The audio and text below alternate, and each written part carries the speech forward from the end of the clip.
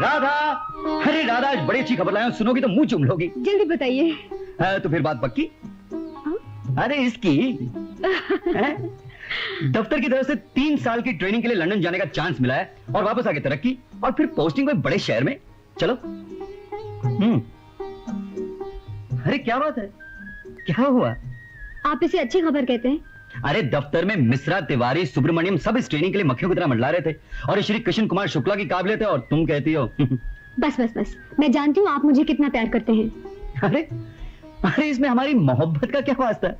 वास्ता है आपने कभी सोचा है कि आप मुझसे तीन साल के लिए दूर हो जाएँगे? अरे हाँ ये बात तो मेरे दिमाग में आई नहीं। तो ठीक है मैं कल जाकर कह दूँगा कि दो टके की तरक्की के लिए मैं अपनी बीवी की उदासी बर्दाश्त नहीं कर सकता। बस। तो फिर लोग आपको बीवी का गुलाम कहेंगे। हाँ कहने तो वो तो हूँ। मैं मज़ाक कर रही थी। मज़ाक कर रही थी? हम्म, तो फिर तो? हम्म। ये तरक्की आपको बहुत मुबारक हो। ये हुई ना बात। हम्म? हाँ, आगे कुछ मत कहो चुपचाप सुनो। देखो भाई प्रोग्राम ये है कि अगले महीने की पहली तारीख को हम लोग बॉम्बे चलेंगे। हम्म? वहाँ से मैं लंदन चला जाऊँगा और तुम दस पाँच दिन पम्मी और अजीत के साथ रहकर वापस चली जाना। वापस आकर गाँव चली जाना अपने माइक अरे ठहरो ठहरो ठहरो। लाओ हम अपनी शशि के साथ खेलेंगे। हम्म? बाद में। पहले आप चलकर अजीत भैया को फ़ोन कर दीजिए। हम्म। वो बहुत खुश हो जाएँगे कि हम लोग बॉम्बे आ रहे हैं। हेलो। अरे भाई कौन बोल रहा है? अजीब उल्लू के पट्टे हो जी तुम। टेलीफोन तुमने किया या हमने? ओए तू दस की दिन गल करनी है पाई। समझ गया। अरे जिस उल्लू से बात करना चाहता हूँ वो तुम ही हो। ओए तू है? उजैन तो बोल रहा है। पम्मी ओ पम्मी। हाँ ओ किशन तू ज़िंदा है? नहीं नहीं मैं तो मर चुका हूँ। ये मेरा भूत बोल रहा है। ओ डू मर। ओए कदी ना कोई चिट्ठी ना कोई टेलीफोन। मैं बॉम्बे आ रहा हूँ। ओए सच बोल रहा है? मैनू उल्लू तो नहीं बना रहा ना? अरे उल्लू को उल्लू क्या बनाना? अच्छा सुन। जीत मुझे तीन साल की ट्रेनिंग के लिए लंदन जाने का चांस मिल रहा है लंदन। हाँ और पहली तारीख को मैं राधा और शशि के साथ बॉम्बे पहुंचूँगा और आठ तारीख को मेरी वहाँ से फ़्लाइट है। मम्मी ओ परमिंदर किथे मर गई है भगवान। ओहो की दंड पाए हो? सारी सोसाइटी सरते चुके हो। तुसे हले नहीं बोल सकते की कम है हुन दसो। किशन दा फ़ोन है किशन दा। किशन? केड़ा किशन? ओ जैन वाला मेरे कॉलेज दा दोस्त। हम्म, वीरा? हाँ उसने लंदन जाना है वो मुंबई आ रहा है। हाँ किशन किस गाड़ी से आने का इरादा है भाई? मैनू भी गल करन दोगे? हम्म, हम्म, ए किशन! तुझे याद आ गई हमारी? हाँ राधा कैसी है? शशि कैसी है? सब ठीक है भाभी। हम लोग पहली तारीख को बॉम्बे आ रहे हैं। हाँ हाँ तेरे भाई ने मुझे सब बता दिया है। अब अपना मुँह बंद कर और मेरी बात सुन। खबरदार जो बीच में बोला तो। बम्बई पहुंचकर कोई होटलबाजी नहीं होगी। आजकल होटल बहुत महँगे हो गए हैं। भाभी। चुप कर पूरी बात सुन फिर बोलना। चलते वक्त टेलीफोन करने के भरोसे मत रहना। दो दिन पहले ही टेलीफोन कर देना। भाभी मैं बोलूँ टेलीफोन बहुत महँगा हो गया है। इसीलिए मत बोल मुझे बात पूरी कर लेने दे। और देख स्टेशन पे कार लेकर मैं पहुँच जाऊँगी। हाँ राधा को बम्बई मैं दिखाऊँगी समझा? भाभी अब बोलू? हाँ मखा टेलीफोन का बिल बढ़ाएगा। बात पूरी हो चुकी है मैं फ़ोन बंद करती हूँ हाँ। अरे अरे अरे मुझे तो बात करने दे। कमाल है। अपनी बात के बीच में किसी को बोलने नहीं देती दूसरे की बात पूरी नहीं होने देती। मुझे ज़रूरी बात करनी थी। कोई ज़रूरी बात नहीं करनी है। तुम्हारी तो आदत है ज़्यादा बात करने की। हाँ मुखा उस बेचारे के टेलीफोन का बिल बढ़ाते। वो तुम्हारी तरह किसी ट्रांसपोर्ट कंपनी का मालिक नहीं है। राधा के खत से पता चला कि आप विलायत जा रहे हैं? आपके जाने से पहले आ गए दोनों को मिलने? बाबूजी मेरा कोई दूर का भी रिश्तेदार होता बस तो मैं राधा को वहाँ छोड़ जाता। मगर आप तो जानते हैं मेरा आप लोगों के सिवा इस दुनिया में कोई है ही नहीं। सुन रही हो राधा की माँ? हमारी बेटी को हमारे ही घर में छोड़ने की चर्चा कर रहे दामाद साहब। श्रीमान ये भी कह दीजिए कि माँ बेटी के खर्चे के लिए हर महीने पाँच सौ रुपए भेज दिया करेंगे। बाबूजी। हम तुम्हें दामाद नहीं अपना बेटा मानते हैं। ऐसी बात कहकर तुमने हम दोनों का दिल दुखाया है। और ये भी कोई कहने की बात है बेटा? मुझसे भूल हो गई माँ जी मेरा कहने का ये मतलब नहीं था। ठीक है ठीक है भूल जाइए श्रीमान। बहुत दिनों बाद बिटिया के हाथों का खाना भाई मज़ा आ बाबूजी मुझे बॉम्बे से आने दीजिए। फिर गाँव चलकर आपके सारे मनपसंद खाने पकाऊँगी। भाई राधा के हाथ की कॉफ़ी का जवाब नहीं? रियली हाँ तो हो जाए। ज़रूर। बाबूजी के लिए भी। बेटी मेरे लिए जरा शक्कर कम अच्छा, अभी लाती हमारी गुड़िया कितनी प्यारी है। बिल्कुल अपनी राधा पर गई है।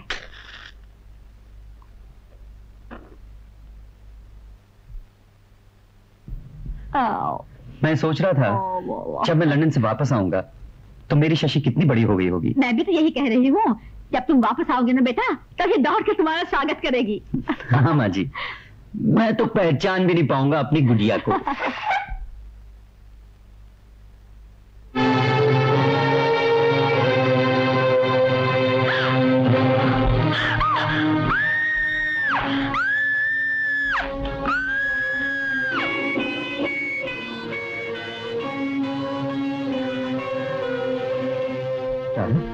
डॉक्टर साहब आ गए तुम्हें कुछ नहीं जाता।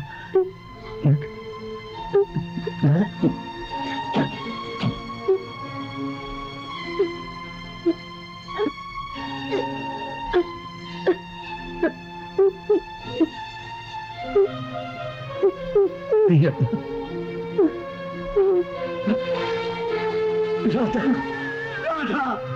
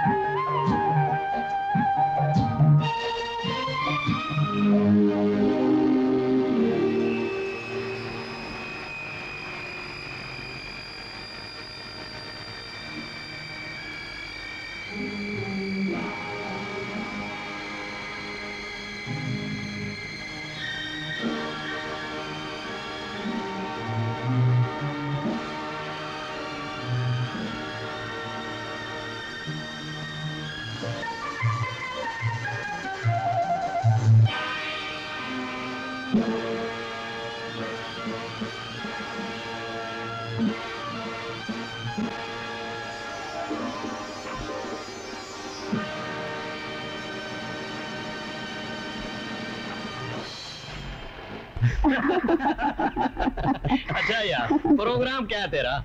यार प्रोग्राम तो मेरा हिंदुस्तान पहुँचने से पहले ही फिक्स हो गया था। क्या? मेरी पोस्टिंग हो गई यही बॉम्बे में। ओए यार मज़ा आ गया। पूरी बम्बई रंग डालेंगे। ये क्या बात हुई? तू शशि से मिलने उज्जैन नहीं जाएगा? नहीं भाभी यही ट्रेजेडी है। कल ही से मुझे चार्ज लेना है और चार छह महीने तक छुट्टी भी नहीं मिलेगी। वैसे अच्छी बात है। आराम से फ्लैट ढूंढ लूँगा और बाद में उन्हें जाकर ले आऊँगा। फ्लैट गल करदा। मेरा घर तेरा नहीं है? हाँ? ओ यार मैं तो अभी बात ही कर रहा हूँ। मैंने कौन सा फ्लैट ढूंढ लिया है? ओह। वैसे भाभी मैंने शशि के नाना को चिट्ठी लिखकर अपने प्रोग्राम की इत्तला दे दी है। अच्छा। लो नाना पापा को चिट्ठी लिखो। हाँ। अरे नाना को पढ़ने देना। ओहो पढ़ाई तो होती रहेगी। हम पहले इसके पापा को चिट्ठी लिखते हैं। बताओ क्या लिखे बेटे? लिखो हाँ। कि अब मैं बड़ी हो गई हूँ। अच्छा। और क्या नानी? और बेटा लिखवाओ। कि पापा तुम इतने वर्षों के बाद लंदन से आए हमसे मिलने क्यों नहीं आए? आ। लिखो नाना। हम्म, तुम हमें मिलने क्यों नहीं आए? और क्या लिखूं? और क्या नानी? और और क्या लिखा है? तुम भी तो कुछ सोचे ना सब नानी बताएगी।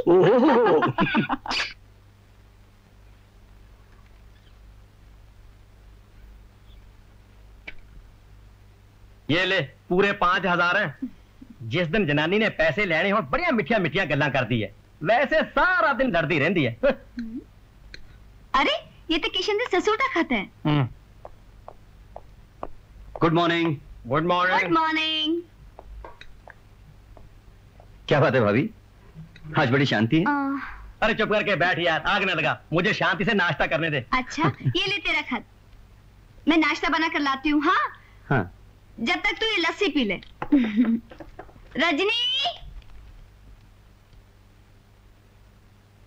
क्या लिखा है तेरे ससुर जी ने? लिखा है कि शशि बड़ी हो गई है।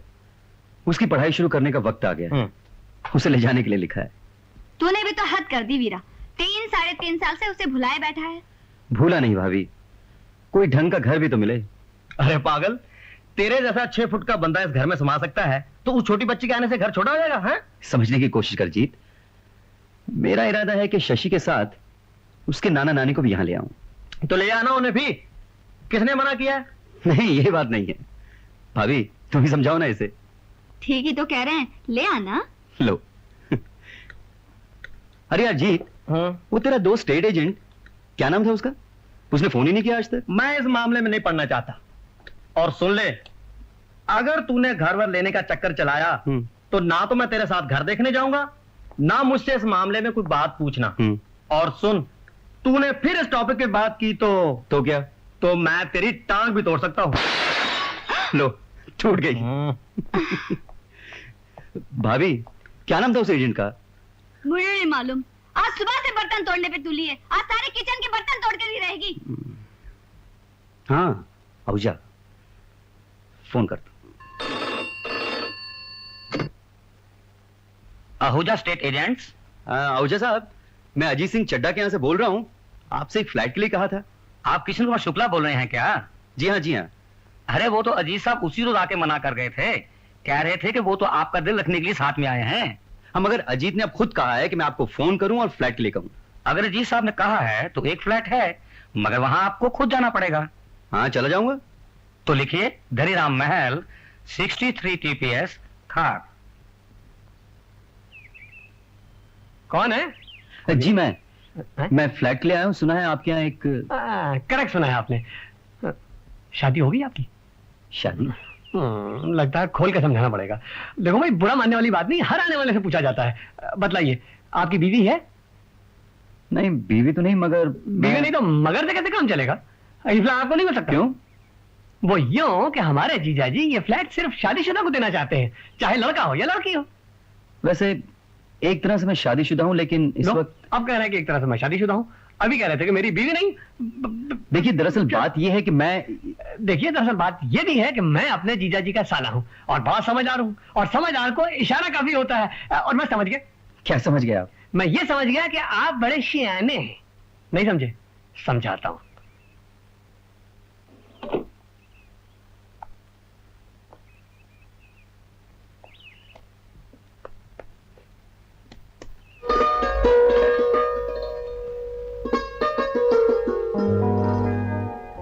बाबू साहब ये एड्रेस ये है जरा देखना। मकान चाहिए आपको? हाँ हाँ बाबू साहब मेरी बीबी को चाहिए। आप धनी हैं। आपकी शादी हो गई? क्या पूछा आपने? जी मैंने पूछा आपके पति हैं या नहीं? क्या पूछता है? मेरे को पूछो। अरे भाई आपकी या आपकी? जी मैं नहीं ये मकान का मालिक पूछता है उधर। वैसे मैं भी यहाँ मकान ही लेने आया था क्योंकि मेरी बीवी नहीं है इसलिए मुझे मकान नहीं मिला। शर्म नहीं आता? छोकरी लोग के साथ ऐसा बात करता है? चलो बीबी चलो। धनी लोग का शकल ऐसा होता है?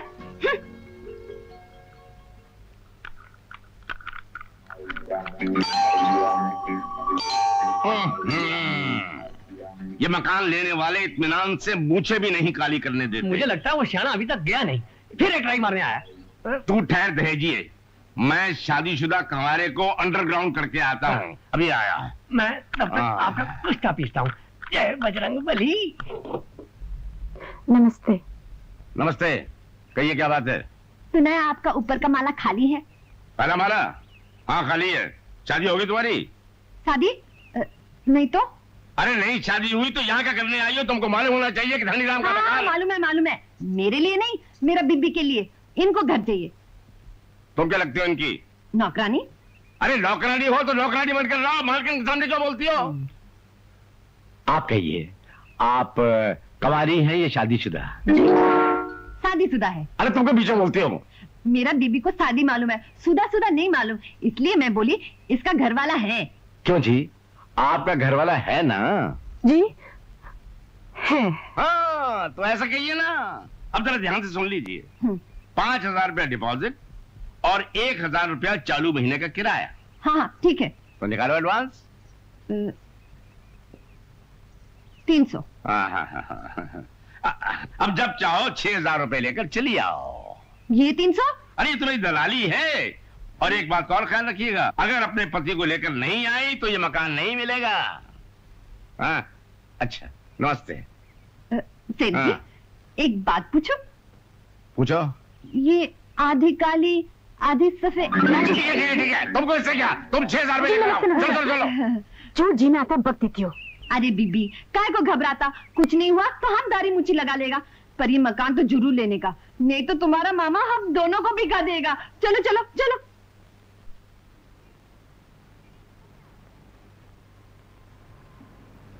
अरे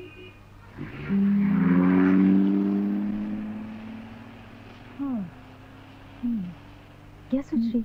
बीबी तुम इधर आओ। वो आदमी है ना अच्छा लगता है। हमारा काम आ सकता है। बहुत अच्छा रहेगा समझा? क्या? नहीं नहीं ये नहीं हो सकता नहीं हो सकता हो सकता है। तुम आओ। अरे पागल हो गई तो। लाजो बीबी। क्या हो गया तुझे? तुम चुप रहना। माफ़ करना बाबू साहब। हम आपको गलत समझा। नहीं कोई बात नहीं। वो पागल बुड्ढा है ना वो सिर्फ़ शादीशुदा लोगों को मकान देता है। मालूम है तो आपको भी मकान नहीं मिला। और इन्हें? पर मिल सकता बाबू साहब। सिर्फ़ आपका मदद का ज़रूरत है। मेरी मदद की? मैं क्या कर सकता हूँ? हाँ बाबू साहब। आप आपका शादी नहीं हुआ और हमारा बीबी का शादी नहीं हुआ। इधर अकेले में आओ हम सब समझाता है। अकेले में कि जो कहना है यही को अरे बाबू साहब पब्लिक इधर कितना है? आओ ना बाबू साहब। अरे बाबा तुम दोनों को सच्ची मुच्ची मरद ज़रूर नहीं बनने का खाली नाटक करने का वो बुड्ढे को बताने के वास्ते। माफ़ कीजिए मकान मुझे ज़रूर चाहिए लेकिन इतनी ज़रूरत नहीं है जो मैं इस चक्कर में पड़ूं। बिल्कुल ठीक कहा आपने। इसका क्या मतलब होता है ये समझती नहीं है। एक बार ये झूठी बात मशहूर हो जाए तो जानती कितनी बड़ी मुसीबत खड़ी हो सकती है। लेकिन बीबी तुमको इधर बम्बई में जानता कौन है? अरे इन्हें ना जानते हो मुझे तो लोग जानते हैं। मैं यहाँ सर्विस में हूँ। इसकी तरफ़ से मैं आपसे माफ़ी मांगती हूँ किशन बाबू। ओहो क्या माफ़ी मांगने का? चुप कर लाजो। किसी अनजान शरीफ आदमी से ऐसी बातें की जाती हैं? लो और समझा शरीफ लोग से ही ऐसा बात करना चाहिए। कोई लुच्चा लफंगा से नहीं। बैठ जाओ बाबू बीबी बैठ जाओ अरे बैठ जाओ ना बाबू साहब। देखो बाबू साहब ये मकान हमारे लिए ज़िंदगी है। नहीं मिला तो मौत। ऐसा मुश्किल में अगर आप मदद नहीं करेगा फिर कौन जाने हमारा क्या होगा? क्या ये सच कह रही है मिस कोपिका मुसीबत तो है हमारे सर पे। सिर्फ़ चार छह महीने का ही तो बात है। फिर बीबी का गाने का चानस लगने का ही देर है बस। तो क्या आप जी शौक है गाने का। टीवी और फ़िल्म में गाने की आरज़ू लेकर अपनी किस्मत आजमाने बम्बई चली आई। हो आई सी अगर चानस जल्दी मिल गया तो पाँच छह महीने के पहले छोड़ देगा। अच्छा भाई मगर ये तो बताओ मुझे करना क्या होगा। बाबू साहब आपको कुछ नहीं करना पड़ेगा सब कुछ हम करेगा। आइए आइए आइए। देखिए बंबई में इतना बड़ा फ्लैट और इतने कम किराए में मिलना बड़ा चमत्कार है। अरे ये तो आप दोनों मियाँ बीवी की किस्मत है। किस्मत का बात करो मियाँ बीबी का बात मत करो। लाजो हाँ मेरा मतलब है कि आप दोनों किस्मत की वजह से ये चार महीने से खाली पड़ा है। यहाँ रंडुए आए कंवारे आए लंबे लंबे किराए देने वाले आए लंबे लंबे डिपॉजिट देने वाले। लेकिन धनीराम पैसे का लालची नहीं है और दिल का बड़ा साफ़ है इतना सारा सामान इतना बड़ा मकान और फिर साथ में टेलीफोन। टेलीफोन?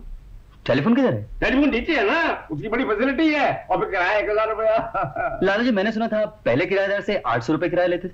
आठ सौ? अरे मेरे दहेजी ने कहा होगा। हाँ हाँ। वो मेरी बीवी का भाई मेरा साला इस साले को नीचे जाकर देख लूँगा। ये रहा किचन और ये बेडरूम अब इधर इधर इधर और ये बाथरूम एक ही है। अच्छा अच्छा। अब मैं तुमको बड़ा बड़ा बेडरूम दिखाता हूँ। आइए आइए आइए। फिर कहना कि धनी राम अपने किराएदारों का ख्याल नहीं रखता।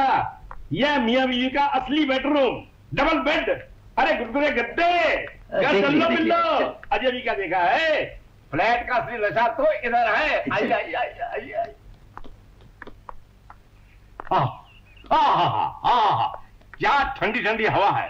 आज ये टेरेस शाम को यहाँ मियाँ बीवी बैठेंगे तो सारे दिन की थकान दूर हो जाएगी। बड़ी रोमांटिक चलिए, चलो। है हाँ। हाँ चलिए देख लिया हम लोगों ने देख लिया। आइए हाँ, किशन बाबू रोमांस ज़िंदगी का सबसे बड़ा टॉनिक है।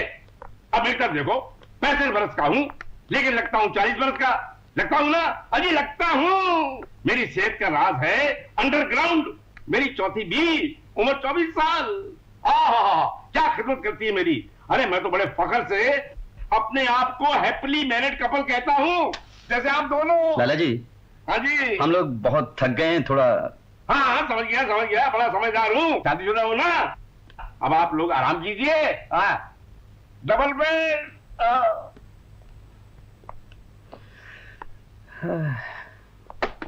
चलिए। इस समस्या से तो पार हुए। देखिए वो बेडरूम आप ले लीजिए। बड़ा वाला कमरा मैं ले लेती हूँ। लाजू यही कहीं ड्राइंग रूम में सो जाएगी। हाँ बाबू साहब देखो अब इस घर में तुमको हमसे और बीबी से कोई लेना देना नहीं। सिर्फ़ दूसरों के सामने मजदूरों का नाटक बस। इसका मतलब आप समझ गए ना?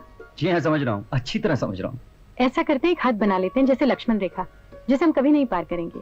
ये तो बहुत अच्छा आइडिया दोनों को आराम रहेगा। तो आप मेरे बेडरूम की तरफ़ मत आइए मैं उधर नहीं आऊँगी। यही हमारी लक्ष्मण रेखा बाकी सब कॉमन कहीं ये तो पेंट लाकर एक लकीर खींच दो? हम तुमको शरीफ आदमी समझता है। दूसरा रंग नहीं दिखाने का। नहीं तो हम बहुत खराब आदमी है नहीं इन पे विश्वास किया तो इज़्ज़त से बात कर। अब जा सामान लिया नहीं तो यही शाम हो जाएगी। हाँ बीबी वो मामा के आने से पहले मैं चलता।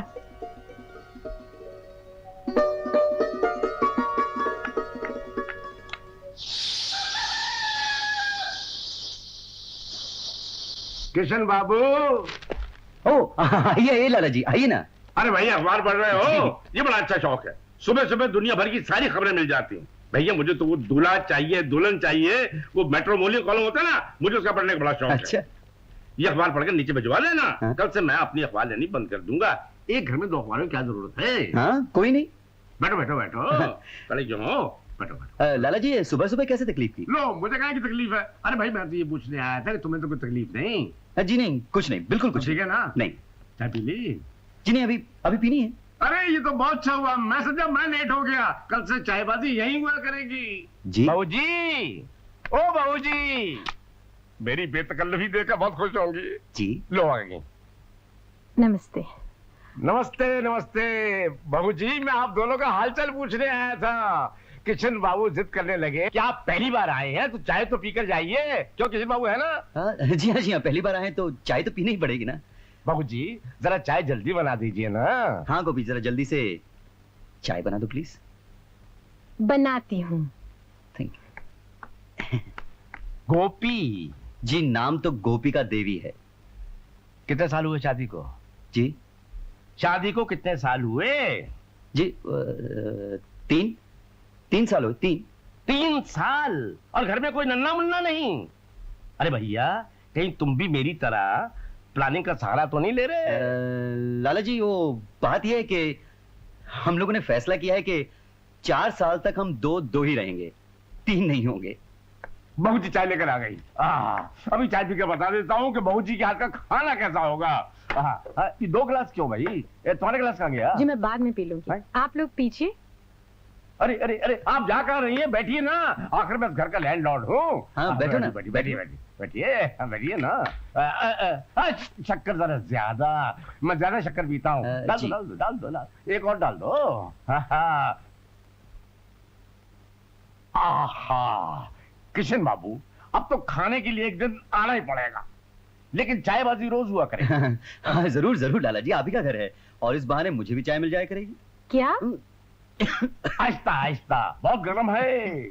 बहू जी देखिए मुझे बहू जी बहू जी मत कहा कीजिए। क्यों? वो अ, मैं आपकी बेटी जैसी हूँ ना मुझे गोपी ही कहा कीजिए। लेकिन गोपी मुझे तुम दोनों का ये फैसला पसंद नहीं आया। फैसला? अरे हाँ वही दो से तीन होने का। ओ लाला जी का मतलब बच्चों से है। बच्चे? अरे बच्चे न सही कम से कम एक बच्चा तो होना चाहिए। हाँ, लेकिन यह कैसे हो सकता है? छह महीने तो हुए शादी को। छह महीने? लेकिन किशन बाबू तो कह रहे थे कि तीन साल हो गए। लाला जी वो क्या है कि तीन साल हुए हैं शादी को और सिर्फ़ छह महीनों से हम इकट्ठे हुए हैं। इसलिए असली शादीशुदा तो अब हुए हैं ना छह महीनों से। हाँ भैया इकट्ठे रहो तो शादी का मज़ा वरना कमाल से ही बुरे। हाँ अरे। हाँ, अच्छा किशन बाबू मैं चलता हूँ। अखबार ले जाऊँ? नहीं वो गोभी ने नहीं पढ़ा बाद में भिजवा देता हूँ। अच्छा अच्छा अच्छा अच्छा। धन आ, को बहुत अच्छे लगते हैं। हैं? नमस्ते। नमस्ते नमस्ते नमस्ते।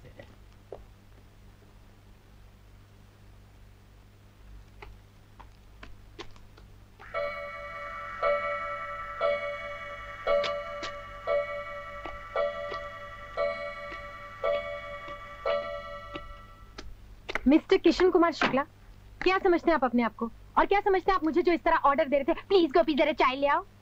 मिस गोपिका शर्मा वो हमारा लैंडलॉर्ड है और उसकी नज़र में हम मियाँ बीवी हैं। बीवी बीमार भी तो हो सकती है। कोई बहाना भी तो बना सकते थे ना? लेकिन आपका तो प्लान था कि इसी बहाने मुझे भी चाय मिल जाया करेगी। आप मुझे गलत समझ रही हैं। मैं सिर्फ़ अपनी दोनों की पोजीशन संभाल रहा पोजीशन संभाल रहे थे या बिगाड़ रहे थे? इतने सारे साल हो गए शादी को। अब तक बच्चे क्यों नहीं हुए? ये सब डिस्कशंस की क्या ज़रूरत थी? ये डिस्कशंस उसने शुरू किए थे। लेकिन मज़ा तो आपको ज़रूर आ रहा था। ये आपका ख्याल है। आप अपना टेम्पर अपने पास रखिए और याद रखिए इस ड्रामे में आपने मुझे घसीटा था। इन सबकी नज़रों में आप मेरी बीवी हैं तो मुझे पति की तरह बिहेव करना ही पड़ेगा। ऐसी कोई मुसीबत सामने आ जाए तो सिर्फ़ मुझे ही नहीं अपने आप को जिम्मेदार समझा कीजिए। मगर आप जा कहाँ रहे हैं? नहाने। लेकिन पहले मुझे नहाना है। मुझे दफ्तर जाना है और लड़कियों का नहाना मैं जानता हूँ दो घंटे लगाती है वो। नहीं मैं जरा जल्दी पहले मैं नहाऊँगा।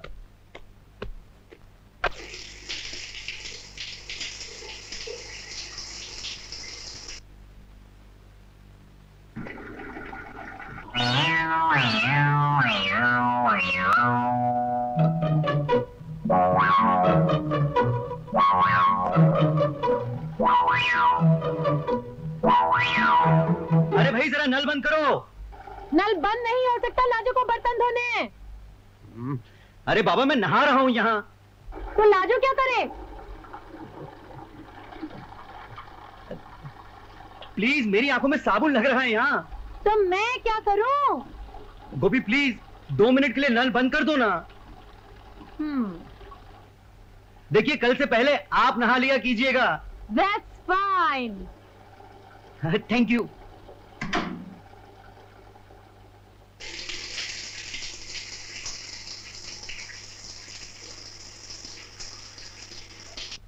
बेटे क्लासिकल म्यूज़िक जानती हो? जी हाँ चार साल की थी जब से संगीत सीखा है।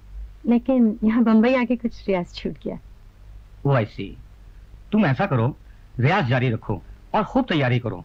अगले महीने मेरे पास आओ मैं तुम्हें ऑडिशन की डेट दूँगा। Okay thank you sir welcome hello साहब बड़े साहब ने फ़ाइल भेजा है। हाँ रख दो। ओ माय गॉड सिर्फ़ आधा घंटा रह गया ऑफ़िस बंद होने में। ये काम हो जाएगा सर रीटा ये फाइल्स मैं घर ले जाऊँगा। मेरे घर में काफ़ी सुकून रहता है। रात को मैं आराम से काम करके रिपोर्ट तैयार कर लूँगा। भई भैरव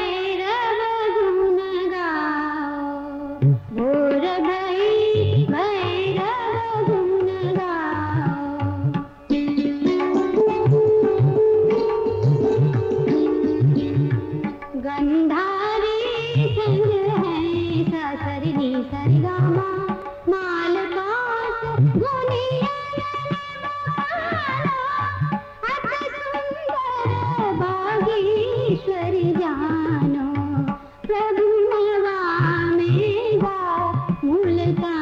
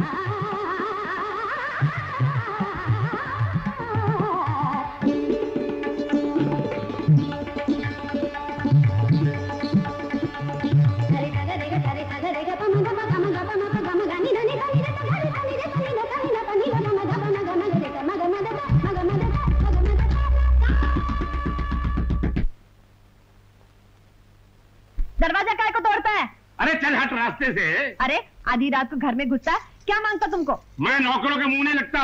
बुला अपनी मालकिन को उससे बात करूँगा। क्या बात है लाला जी इतना शोर क्यों मचा रहे हैं? शोर मैं मचा रहा हूँ कि तुम आधी रात को गला फाड़ फाड़ कर सारे मोहल्ले को सर पर उठा रही हो। क्या समझ रखा है तुमने? ये शरीफों का मोहल्ला है धनी राम का मकान है कोई कोटा नहीं है। अरे लाला जी क्या? कान खोल कर सुन लो। इस घर में गाना बजाना हुआ तो मैं क्या कर लेंगे आप? हैं जी? अगर तुम्हारी बीवी ने तुम्हारा गाना गाया तो तुम दोनों को सामान के साथ वहाँ भेज दूँगा रोड पर। लेकिन लाला धनीराम मैं आपको अभी और इसी वक्त यहाँ से उठाकर उस खिड़की से नीचे फेंक दूँगा और दो सेकंड में आप ग्राउंड फ्लोर पर होंगे। कहिए हाँ जी। हाँ जी किशन बाबू मुँह सवाल के बात करो। चिल्लाइए मत। बड़े शरीफ बनते हैं आप। इतनी भी तमीज नहीं कि रात के वक्त किसी घर में घुस आए और जो मुँह में बकने लगे। मैं अभी पुलिस को बुलवाकर आपको अंदर की सैर करवा सकता हूँ। अंदर। किशन बाबू आप लैंडलॉर्ड से कैसी बातें कर रहे हैं? जानता हूँ। इस वक्त मैं यहाँ रहता हूँ और ये घर मेरे कब्जे में है जिसके लिए मैंने आपको एडवांस भी दिया है। पर तुम कानूनी किराएदार हो कहाँ? धनी राम जी कानून में आपसे ज़्यादा जानता हूँ। हम चीखे चिल्लाएँ शोर मचाएँ कुछ भी करें अपने कमरे में आप हमें कुछ नहीं कह सकते। और अगर दोबारा आपने मुझसे पूछे बिना इस घर में कदम रखा तो मैं मुँह से नहीं हाथ से बात करूँगा। अरे ये क्या कर रहे हो? देखो भैया गर्मा गर्मी में सौ बातें होती हैं। कुछ तुमने कहा कुछ मैंने कहा और मैंने शायद को गलत कह दिया होगा। लेकिन भैया मेरा कहने का मतलब ये था बहू जी गाएँ लेकिन जरा आहिस्ता गाएँ। लाला जी कहने का भी कोई तरीका होता है? हमारी भी इज़्ज़त है। आपके जो मुँह अरे में आए आप- भैया मैं गाने को बुरा नहीं कहता। गाना तो हमारी संस्कृति है। आप तो खान का बुरा मान गए। बहू जी गुस्सा छोड़ दीजिए ना। अब भैया तुम भी ठंडे हो जाओ। देखो मैं कल सुबह आऊँगा और चायबाजी यहाँ इकट्ठी होगी। आहा, हंस ना। हंस दो हंस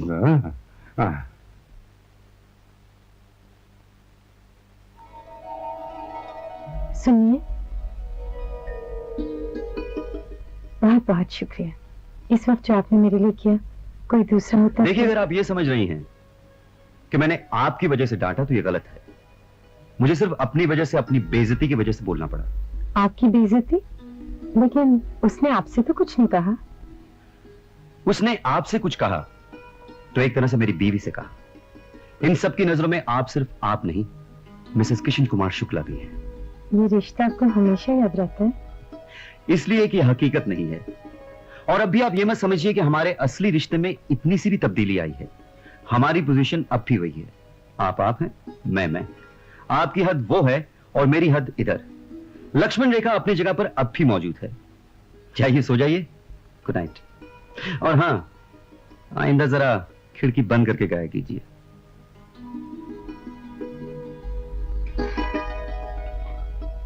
कितना अच्छा आदमी है अपना बाबू साहब।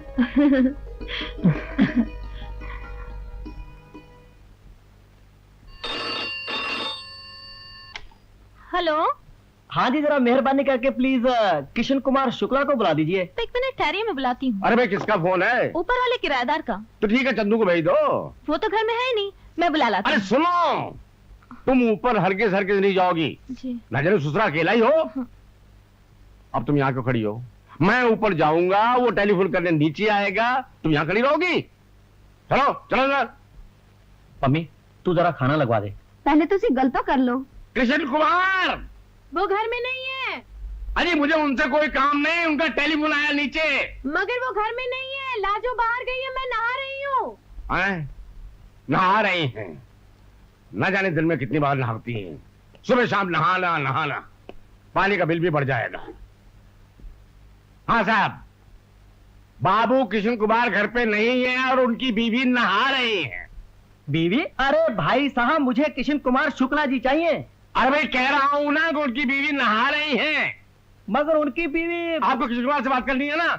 किशन कुमार घर पे नहीं है। अरे फ़ोन बंद कर दिया।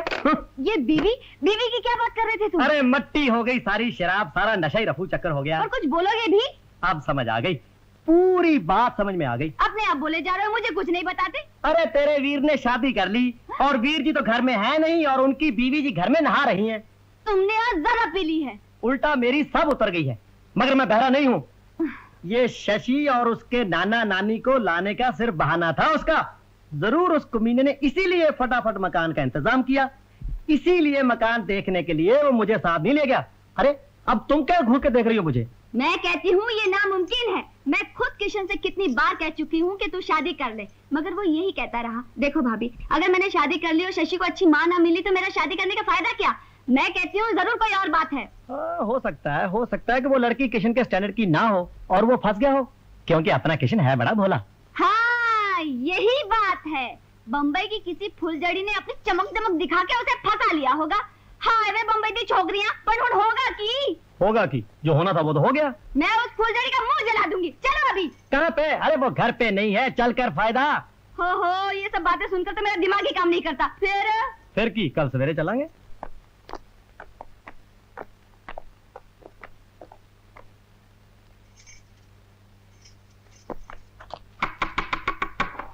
आइए लाला जी।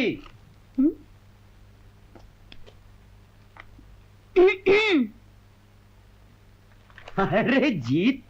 भाभी अरे a pleasant surprise बस बस सुन रहे हैं कभी आया पलट कर देखने के लिए अपने और भाभी नु? आज मैं सोच ही रहा था भाभी वो मैं- तो जब से तू पैदा हुआ है सोचने का ही तो काम कर रहा है।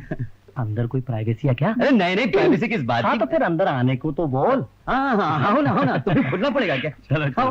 वो क्या है कि मैं हैरान हो गया तुम लोग यहाँ देख कर अरे भाई यही तो आइडिया था कि पकड़ लो रंगे हाथ। घर पे मिले ही मिले इस वक्त तो। घर तो बहुत अच्छा है। ओ घर तो बहुत अच्छा है पर तुम्हारा देवर कुछ नर्वस लग रहा है? नर्वस क्यों? मैं क्यों नर्वस होने लगा? या लगता है पर तुम्हें हमें देखकर यहाँ खुशी नहीं हुई। कैसी बातें करता है? खुशी क्यों नहीं होगी मुझे? अरे तो फिर बैठने को बोलना। ओ। बैठ बैठ बाबा बैठ बैठ। बैठो बाबू। अरे अब क्या बात है? कुछ नहीं? कोई घबराहट है? नहीं तो तो फिर खड़ा क्यों है? अरे बैठ ना। अ- हाँ बैठ। बैठ। लाजो जरा तौलिया तो दे मेरा। अरे लाजो सुना नहीं तूने? जरा मेरा तौलिया तो देना। आ, लाजो बाज़ार गई है।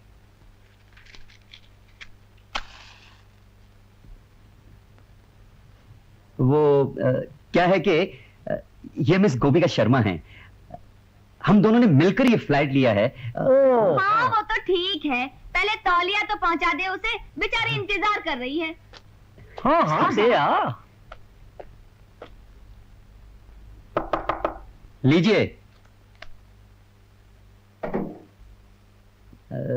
जीत वो बात यह है कि इस मकान का किराया ज़्यादा है।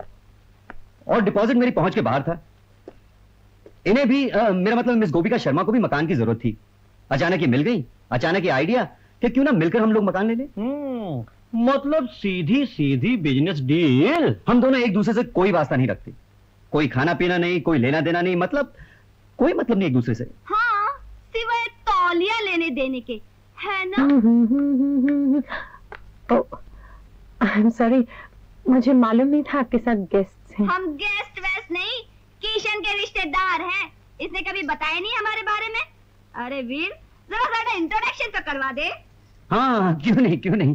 गोपी ये अजीत सिंह चड्डा है और ये इनकी पत्नी परमिंदर कौर। नमस्ते जी। सभी कुछ यही है मेरे बॉम्बे में। और भाभी ये है गोपिका शर्मा। नमस्ते। नमस्कार। Excuse me hmm. अरे किशन चाय तो पूछ। हम तो तेरे चक्कर में चाय पिए बगैर ही निकल पड़े। हाँ, ज़रूर ज़रूर। सौ फ़ीसदी ज़रूर ज़रूर बिल्कुल ज़रूर। आज कोई पागल ही होगा जो किशन बाबू के घर आए और अपने घर से चाय पी कर आए। नमस्ते जी। नमस्ते। मैं इनका लैंडलॉर्ड हूँ। हम्म। मेरा नाम लाला धनीराम है। दिल का बहुत साफ़ हूँ। क्यों किशन बाबू? हाँ हाँ लाला जी। अ, ये मेरे दोस्त हैं भाई से भी ज़्यादा। और ये है इनकी पत्नी। अच्छा अभी आपके दोस्त हैं। मैंने समझा था कि ये आपकी पत्नी की सहेली है और ये इनके पति हैं। क्यों जी एक बात पूछता हूँ आपसे मैं। लाला जी ये बहुत दिनों बाद आए हैं। इन्हें बहुत ज़रूरी बातें करनी है मुझसे। ठीक है तो मैं चला जाता हूँ। भैया इनको चाय यहाँ पिला दो और मेरी चाय नीचे भिजवा देना हैं? हाँ जी जी ज़रूर ज़रूर। हाँ, हाँ। देखो भिजवा देना नहीं तो फिर लौट के यहाँ चला आऊँगा। बड़ी लजीज चाय होती है इनकी बीवी आपकी हाँ। अम्मी अब मैं एक मिनट भी यहाँ नहीं रोक सकता। हाँ जी चलो। भाभी तुम इसकी बातों में बताओ। यार असलियत क्या है? तो समझने की कोशिश क्यों नहीं करता? हम लोग सब समझ गए हैं और अब ज़्यादा समझने की ज़रूरत नहीं। देखो किशन असली बात यह है कि तुम शादी कर चुके हो और सबसे घटिया बात यह है कि तुमने ये शादी हम दोनों से छुपाई। चलो पम्मी एक जीत तू मुझे गलत मत समझ। ये झूठ है मैंने शादी नहीं की है। शादी नहीं हुई तो बीवी कहाँ से आई? तू झूठ बोल रहा है? ये सच कह रहे हैं। मिसेस चड्डा इन्होंने जो कहा बिल्कुल ठीक कहा।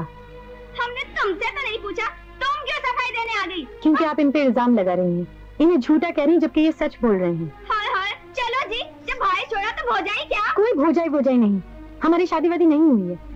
ये कहकर आप मेरी बेइज्जती कर रही हैं। हाय हाय बेइज्जती कर रही हूँ। बेइज्जती उसकी होती है जिसकी कोई इज़्ज़त हो। भाभी। तू चुप कर। चलो मान भी लिया कि तुम्हारी शादी नहीं हुई है।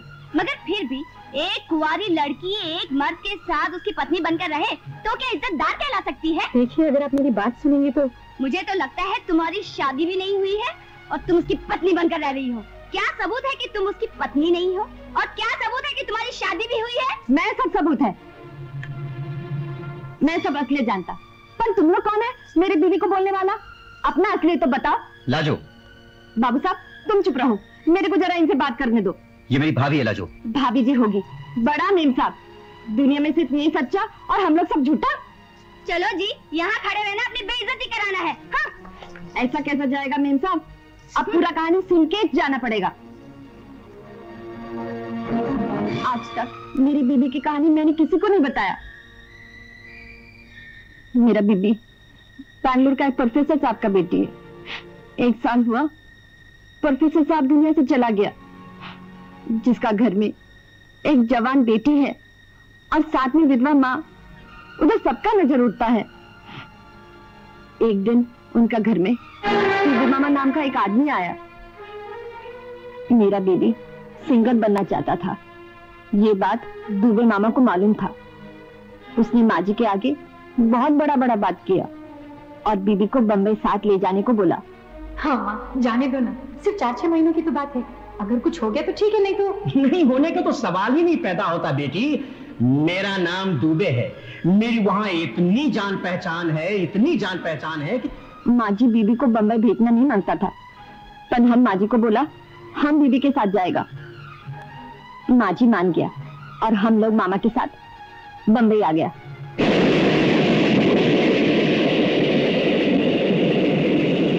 बम्बई में डूबे मामा हम लोग को एक गंदा बस्ती में रखा। रोज रात को कोई ना कोई गंदा किस्म का आदमी आता और तंग करता।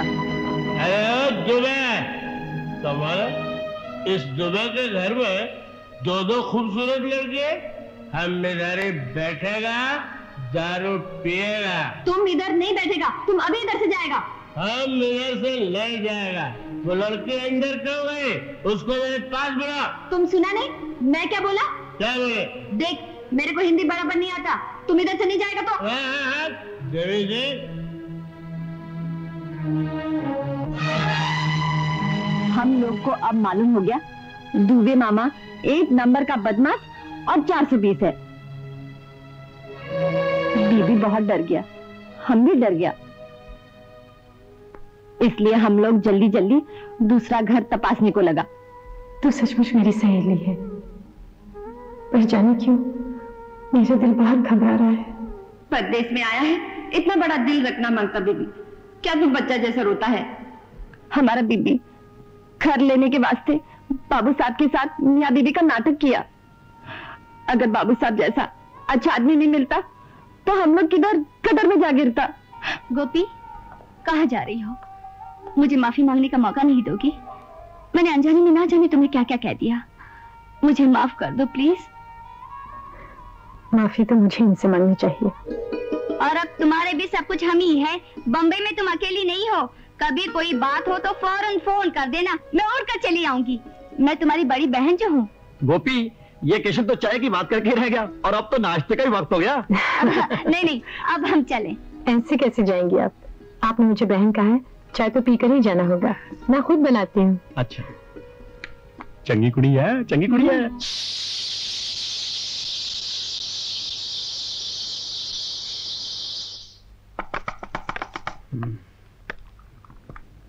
लो बाबू साहब चाय।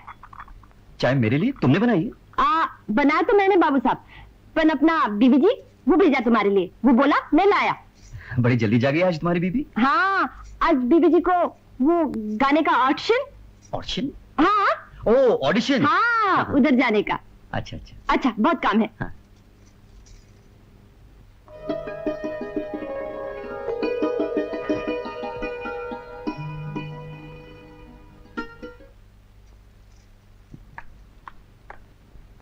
लाजो ये फूल कहाँ से आए?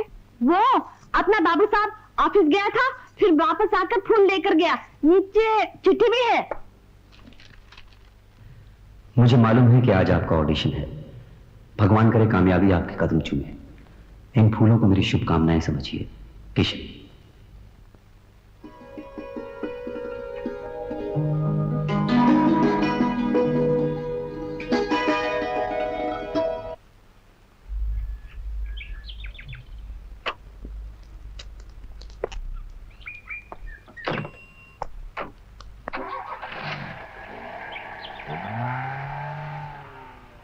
क्या बात है भैया? कुछ नहीं वो ऑफ़िस में तबीयत खराब हो गई थी चक्कर सा आ गया था। मगर तुम्हें तो तेज बुखार है। डॉक्टर को बुलाओ। नहीं नहीं मैं दवा ले आया हूँ। चलो मैं ले चलती हूँ। नहीं रहने दो मैं खुद चला अरे चलो ना। अच्छा चलो। धन्नो! अरे यो धनी राम की धन्नो! देख तेली क्या लाया हो। धन्ना! धन्ना!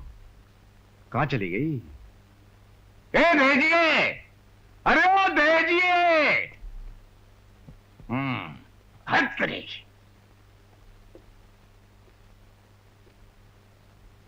हम्म यहाँ बैठिए। बदमाश कहीं का।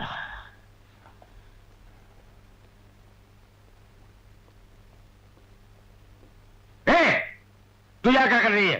उठ चल नीचे। इनको बहुत ज़ोर का बुखार है। सारा शरीर जल रहा है। अरे तूने क्या पब्लिक का ठेका ले रखा है? कल सारा मोहल्ला बीमार होगा। तू सबके घर चली जाएगी? चल चल नीचे। अरे अरे चल। जी। तू चल आता हूँ मैं। ए मिस्टर किशन कुमार ये कहाँ की शराबत है? अरे बीमार हो तुम और सेवा करे मेरी बीवी।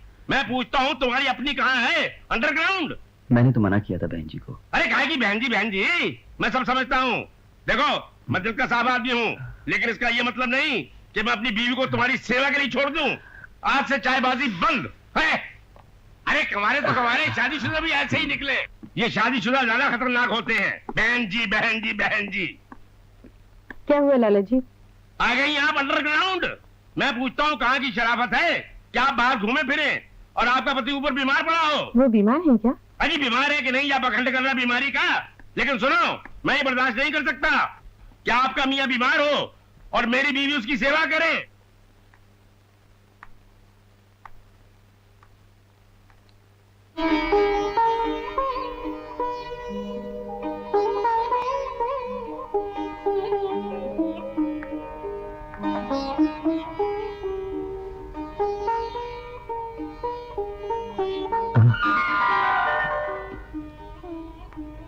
आप? जी मैं। लेटे रहिए लेटे रहिए आपको तो बहुत तेज बुखार है। डॉक्टर को बुलाओ। नहीं ज़रूरत नहीं है। मैं डॉक्टर के पास हुआ हूँ। दवा भी ले ली है। अच्छा।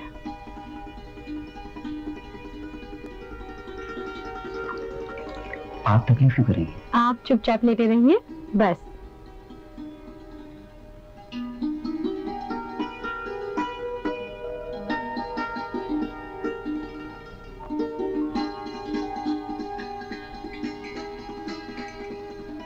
आपने बहुत तकलीफ़ की मेरे लिए। हाँ बहुत तकलीफ़ की। मैं बीमार हो जाती तो क्या आप मेरी देखभाल नहीं करते?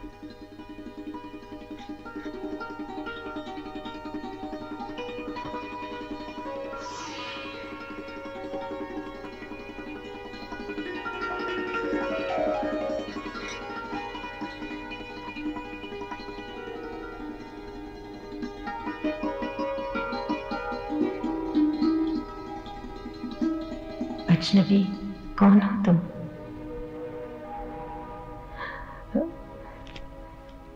ये ये किताब मैं ले जाऊँ पढ़ने को? पूछा ही क्यों आपने? थैंक यू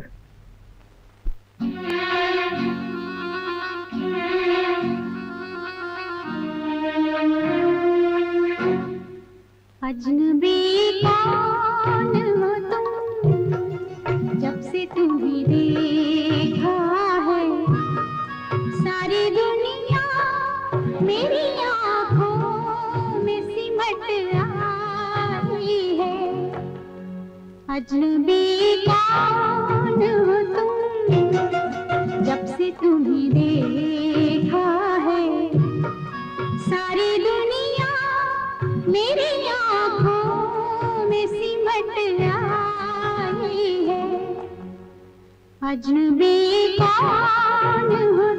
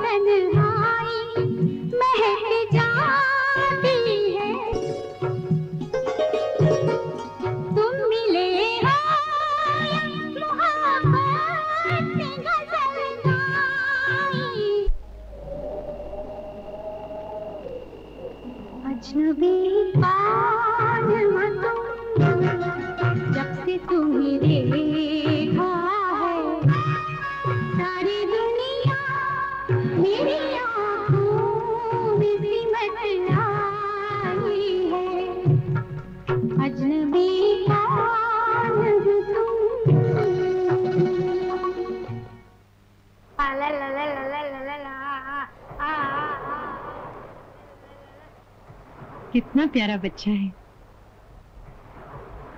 बच्चे तुम्हें अच्छे लगते हैं।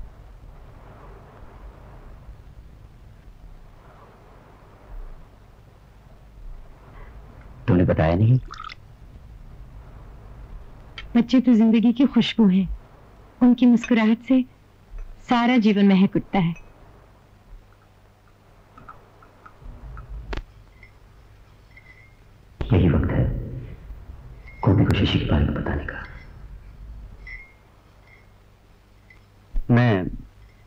दिनों से तुमसे कुछ कहना चाहता हूँ। और मैं बहुत दिनों से आपकी वो बात महसूस कर रही हूँ। क्या बात? नहीं पहले आप बताइए क्या कहना चाहते थे? शायद तुम बुरा मान जाओगी। कम ऑन किशन अब अगर नहीं बताओगे तो ज़रूर बुरा मान जाऊँगी। नहीं गोभी हो सकता है बता देने के बाद तुम ज़्यादा ही बुरा मान जाओ। कह के तो देखो। गोपी मैं किन शब्दों में कहूँ? अपने बारे में। दरअसल मेरी ज़िंदगी में तुम्हारे आने से मैं बताऊँ आप क्या कहना चाहते हैं? आप कहना चाहते हैं गोपी मेरी ज़िंदगी में तुमसे पहले और कोई लड़की नहीं आई। तुम मेरी ज़िंदगी की पहली और आखिरी मोहब्बत हो। सच कहा ना मैंने? आप अब तक अपने मन में बात लिए शब्द ढूंढते रहे और मैं अपने मन में यही शब्द लिए अब तक चुप बैठी रही। वैसे अगर आज भी मैं उसे प्रपोज करूँ तो हाँ कर देगी। मगर अगर मगर का चक्कर छोड़ मौके का फ़ायदा उठा। नहीं जीत। मैं उसे धोखे में नहीं रखना चाहता। और उसे मेरी पिछली ज़िंदगी के बारे में बताना भी ज़रूरी है कि मेरी शादी हुई थी और शशि की ज़िम्मेदारी उसे उठानी पड़ेगी। जब वो सचमुच प्यार करती है तो एक दिन बहुत मूड में हो तो उसे कह डाल वो मान जाएगी। नहीं भाभी कई बार मैंने कोशिश की मगर बात टल गई। कभी मेरी हिम्मत नहीं हुई कभी मौका नहीं मिला। और कभी बाहर से दूसरी बात निकल गई। अरे रोमांस में यही होता है मेरे यार। ओहो थोड़ा मज़ाक सूझता है यहाँ बहुत सीरियस बात हो रही है। हाँ मगर वीर तू अगर उसे बताएगा तो मुझे पूरा यकीन है कि वो मान जाएगी। वो एक पढ़ी लिखी और समझदार लड़की है। बड़ी ममता देखी है उसमें। अरे इसकी हिम्मत नहीं पड़ती। तू एक काम कर उसको यहाँ बुला के बात कर ले। और देख किशन जिनानी जिनानी नु पटा लेगी। हाँ भाभी। इस मामले में तुम मेरी मदद कर दो। मैं डरता हूँ कहीं इनकार न कर दे। कहीं उसने इनकार कर दिया तो? तो फिर मेरे यार का दिल टूट जाएगा। तू फ़िक्र मत कर। साडी वोटी बड़ी सियाणी है। समझ ले? तेरा काम हो गया। अच्छा अच्छा। कल शाम को उसे मेरे यहाँ चाय पर भेज देना। हम्म। कहना भाभी ने बुलाया है? ओहो कौन है? तू काम कर मैं देखती हूँ। किशन के अलावा और कौन होगा?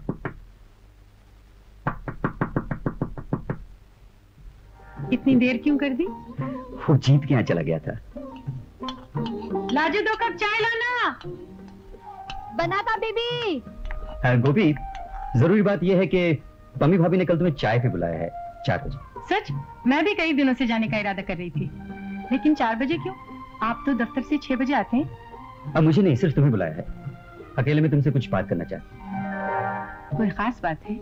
हाँ कह रही थी कि किसी की तरफ़ से तुम्हें कुछ बताना है कुछ पूछना है। मुझे भी उनसे बहुत कुछ कहना है। उस किसी को बताने के लिए। कौन है ये किसी? कोई खास ही लगता है? खास नहीं बहुत खास।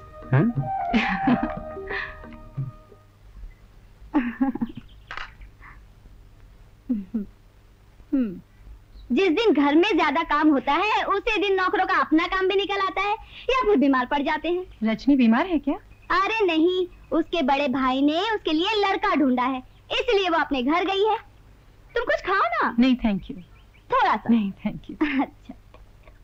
मैं बहुत खुश हुई जब पता चला तुम्हारा और किशन का गड़बड़ है। गड़बड़?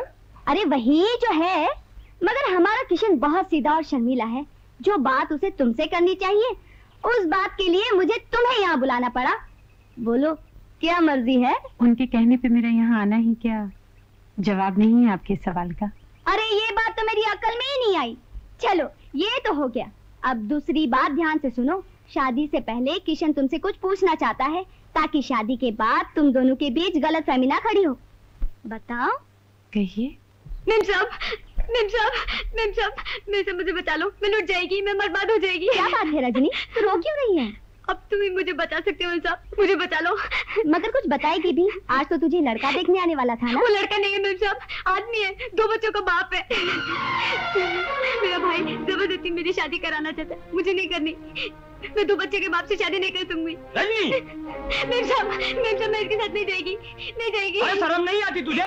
वहाँ लड़के वाले घर पर बैठे और तू मेरी इज़्ज़त का ख्याल किए बगैर चली आई मेरी नाक कटवाना चाहती है तू?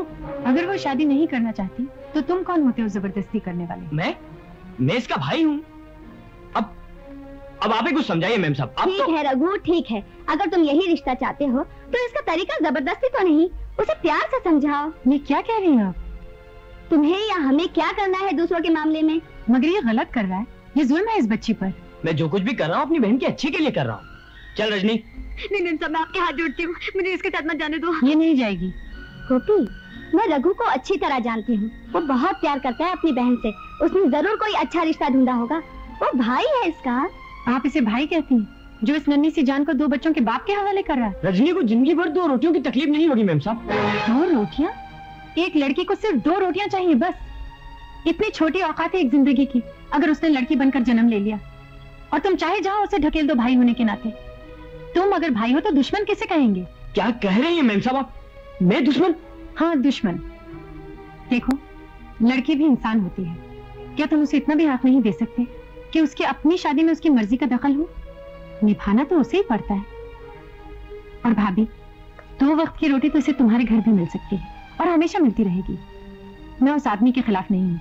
वो शादी करना चाहता है तो ज़रूर करे, लेकिन किसी हम उम्र औरत के साथ, वो किसी बुद्धवा से भी शादी कर सकता है। रघु अगर तुम्हारी शादी तुम्हारी मर्ज़ी के खिलाफ किसी ऐसी औरत से कर दी जाए जिसके दो बच्चे हों तो तुम्हें कैसा लगेगा? आपने ठीक ही कहा। मैं बहुत बड़ी भूल कर रहा था। मुझे माफ़ कर दे रजनी। माफ़ कर दे। जा। चल रजनी। चल मेरी बहन। सॉरी भाभी।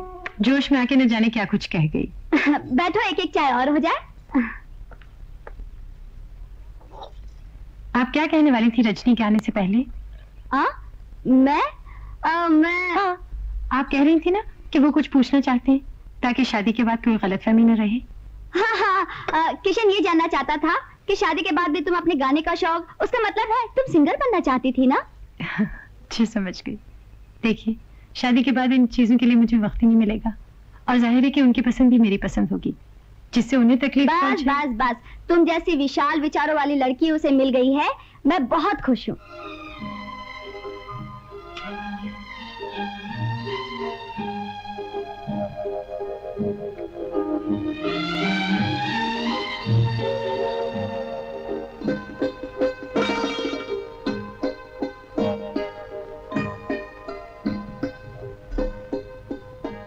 क्या देख रहे हो?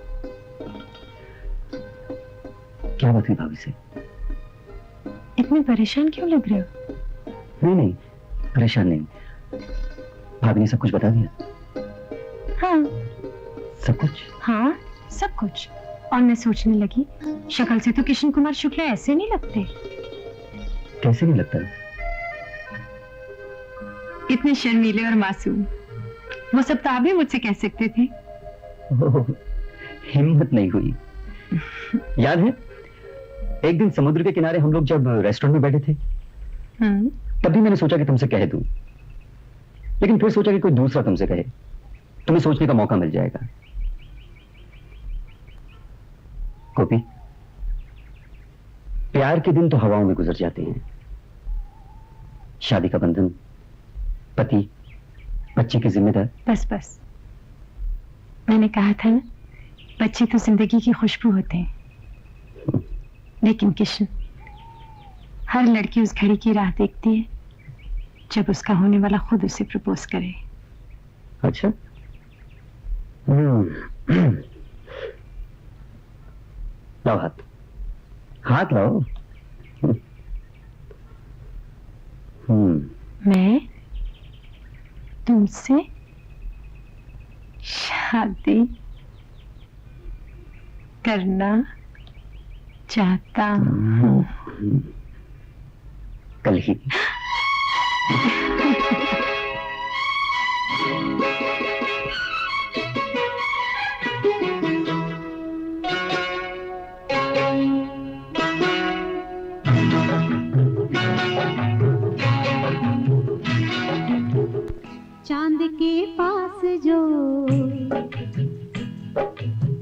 चाँद के पास जो सितारा है, वो सितारा हसीन लगता है, वो सितारा हसीन लगता है। जब से तुम हो मेरी निगाहों में, जब से तुम हो मेरी निगाहों में, हर नज़ारा हसीन लगता है हर नज़ारा हसीन लगता है। चाँद के पास जो सितारा है।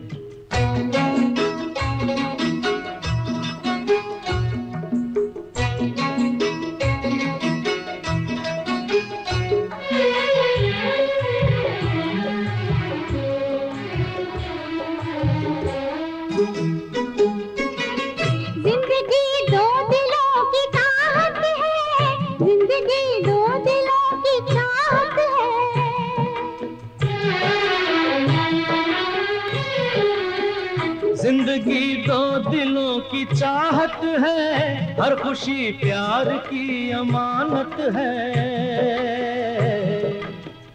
प्यार के पास जो, प्यार के पास जो सहारा है, वो सहारा हसीन लगता है, वो सहारा हसीन लगता है। चाँद के पास जो सितारा है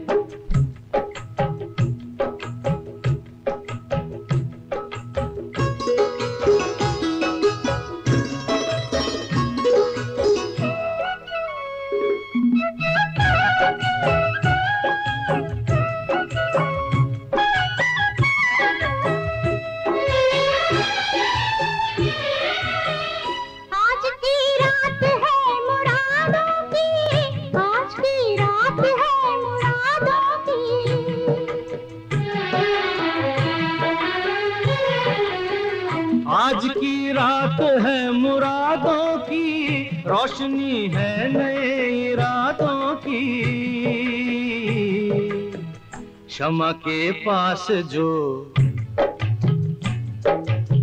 क्षमा के पास जो शरारा है, वो शरारा हसीन लगता है, वो शरारा हसीन लगता है। चाँद के पास जो सितारा है, चाँद के पास जो सितारा है, वो सितारा हसीन लगता है। वो सितारा हसीन लगता है चाँद के पास जो सितारा है। मुझे अकेला छोड़कर कहाँ चले गए थे? बाज़ार गया था। देखो तुम्हारे लिए क्या लाया हूँ। इसकी क्या ज़रूरत थी? कितने की है? तुम्हें इससे मतलब? जब से हम यहाँ आए हैं रोज कोई ना कोई नया तोहफा ले आते हो। क्यों? अपनी गोपी को खुश करने के लिए। लेकिन तोहफों से तो गर्लफ्रेंड्स को खुश किया जाता है। बीवी को नहीं वो इसे फजूल खर्ची समझती है। अगर बेबी को खुश करना हो तो पति को क्या करना चाहिए? उसे प्यार दे विश्वास दे। तुम मुझ पर एक नज़र प्यार की डाल दिया करो वही मेरे लिए सबसे बड़ा उपहार होगा।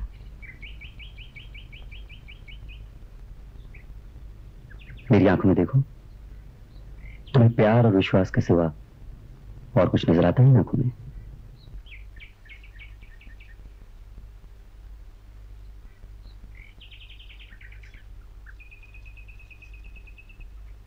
वहाँ से फिर हम नवाज़ जाएँगे घूमने। लो बेटे दो नहीं मैं। चिट्ठी तुम डालोगी लो नाना इस डब्बे में डालने से पापा को पहुँच जाएगी। ज़रूर पहुँच जाएगी बेटे। तो मुझे भी डाल दो ना मैं भी पापा के पास पहुँच जाऊँगी। कितनी सियानी हो गई है मेरी बच्ची। इतना अरमान है बेटे तुझे पापा से मिलने का?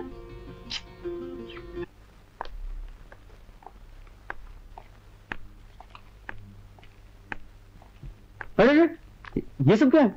घर की ज़रूरत का सामान। कुछ तुम्हारे कपड़े कुछ मेरे। लो। ये रख लो। ये क्या? बनिए का बिल। ये और लो। मैं पहले बिल के चक्कर में फंसा हूँ तुम ऊपर से एक और बिल ले आई हो। क्या बात है? इतने परेशान क्यों लग रहे हो? गोभी मैं घर के खर्च का हिसाब किताब कर रहा था। उसमें छह सौ रुपए घट रहे हैं। मैंने बहुत इधर उधर किया मगर नो चांस एक एक बात मेरी समझ में नहीं आती है कि घर का खर्च भी वही इनकम भी वही। मगर जब भी मैं टोटल करता हूँ छह सौ रुपए घट जाते हैं। अरे तुम हंस रही हो? यहाँ मैं इस कैलकुलेटर पे कैलकुलेट करते करते थक गया हूँ। ये देखो ये मैं हंस इसलिए रही हूँ क्योंकि तुम अकाउंट डिपार्टमेंट में काम करते हो। लाखों का हिसाब किताब बैलेंस बजट क्रेडिट फॉरवर्ड सब करते हो। लेकिन घर के मामले में ज़ीरो अरे इसमें मैं क्या कर सकता हूँ? ये जो दिखाएगा मैं आपका हिसाब देखे बिना यहीं से बैठे बैठे बता सकती हूँ कि क्या गड़बड़ है। क्या गड़बड़ है बताओ। होम डिपार्टमेंट में औरत अथॉरिटी होती है। हम्म, ये बताओ घर का किराया कितना है? एक हज़ार। बिजली का बिल? दो सौ। पिछले महीने तक आधा मैं देती थी। हम्म, लेकिन अब क्योंकि आपकी धर्मपत्नी हो गई हूँ इसलिए सारा अमाउंट आपके हिसाब में लिखा है कि नहीं? अरे हाँ। ये मैं कैसे भूल गया था? बुद्धू। तो मिसेस बुद्धू अब ये बताइए कि ये कमी कैसी पूरी कर सकते हैं? हो सकती है। हम्म, अगर तुम कहो तो मैं जिंगल विंगल गाया करूँ। आमदनी भी बढ़ जाएगी और मेरा वक्त भी नहीं नहीं गोभी नहीं। और देखो फिर कभी मुझसे ये बात मत करना। मैं बिल्कुल बर्दाश्त नहीं कर सकता कि मेरी बीवी घर के खर्च में हाथ बटाए। पता नहीं लोग कैसे पसंद करते हैं कि उनकी बीवी दुनिया में जाकर रोटी कमा कर लाए। अच्छा बाबा गलती हो गई अब कभी नहीं बोलूँगी। लेकिन बजट कैसे पूरा होगा तुम्हारा? तुम एक काम करो। हम्म। तुम ये शॉपिंग वॉपिंग बंद कर दो। मैं शॉपिंग बंद कर दूँ हाँ। तुम दोस्तों के साथ गुलछर्रे उड़ाना क्यों नहीं बंद कर देते? मैं दोस्तों के साथ गुलछरे उड़ाता हूँ। मैं? हाँ। मैं तो हमेशा कड़का ही रहता हूँ। अच्छा। तो तुम सिगरेट पीना क्यों नहीं बंद कर देते? करके अपने आप ही खत्म हो जाएगी। और अगर मैं आपसे ये कहूँ कि आप अपनी ये लिपस्टिक पाउडर बंद कर दो तो? क्या? अरे कुछ तो फ़र्क पड़ेगा ना। देखिए शायद आपको ये नहीं पता कि घर की हर चीज़ महँगी हो चुकी है लेकिन औरतों की चीज़ें तो वही पुराने दामों पर बिक रही हैं। आप ये क्यों नहीं सोचते कि आप अपनी कमाई बढ़ाएँ? कमाई बढ़ाइए कमाई! कमाई। कमाई तो बहुत फिर भी कड़की हर दम रहती है। कमाई तो बहुत फिर भी कड़की हर दम रहती है। कुछ महँगाई ले जाती, कुछ बीवी उड़ाती है। बीवी उड़ाती है।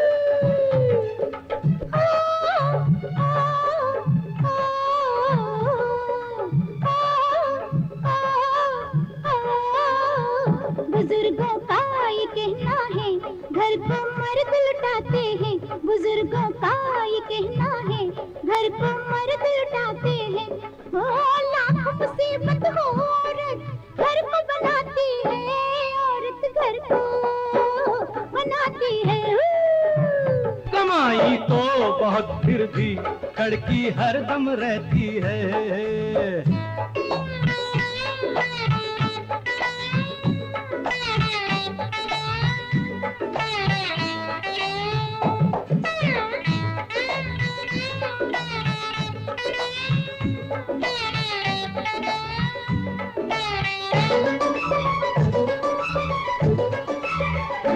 उनकी साड़ियाँ दस बीस, हमरे कपड़े लेते चार है उनकी। हाँ हाँ हाँ है उनकी साड़ियाँ दस बीस, हमरे कपड़े लेते चार है उनकी। रोज दिवाली, दिवाला निकला हमरा यार सोने के हाथ में कंगन, हीरे की कान में बाली छन के पैर में पायल आहेर पायल पायल आहेर पायल छन के पैर में पायल, पति का बटुआ है खाली। लगा कर सेंट लगा कर सेंट महँगाई नखरे सौ सौ दिखाती है। ओ, कुछ महँगाई ले जाती, कुछ बीवी उड़ाती है। बीवी उड़ाती है। बुज़ुर्गों का ये कहना है, घर को मर्द लुटाते हैं।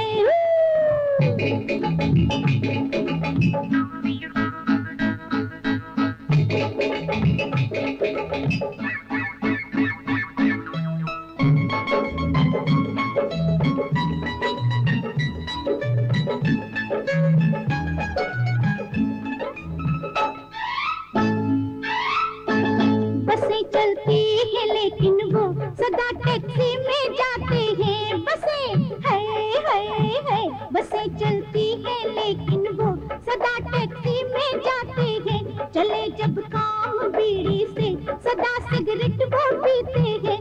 लगाकर आँख पर चश्मा, सिनेमा घूम जाते हैं। घर का छोड़ कर खाना, हाय रे खाना रे खाना, हाय रे खाना।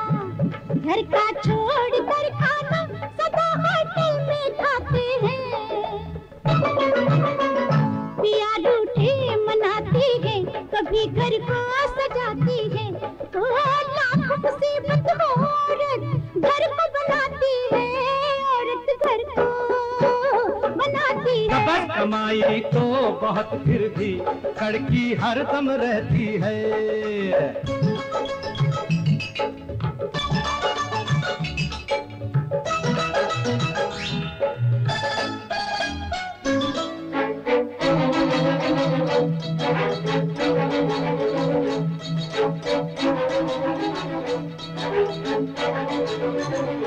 पहन कर रेशमी जोड़ा, हमें जलवा दिखावत है। कभी जो देव से आओ, शुभा मनवा में लावत है। नमक मिर्चा वो डाले, खूब चली रोटी खिलावत है। चले जब चाल ना कोई भारी, चले जब चाल ना कोई तो वो बेलन दिखावत है। जेब होती है जब खाली, याद बस बीवी आती है। बचत के पैसे से हरदम उधारी वो चुकाती है। जवानी में सतावत भी, बुढ़ापे में निभाती है। पति की सेवा कर बीवी सुखी जीवन बनाती है। बुज़ुर्गों का ये कहना है घर को मर्द लुटाते हैं हो औरत घर को बनाती है औरत घर को बनाती है ला ला ला ला ला ला ला ला ला ला ला ला ला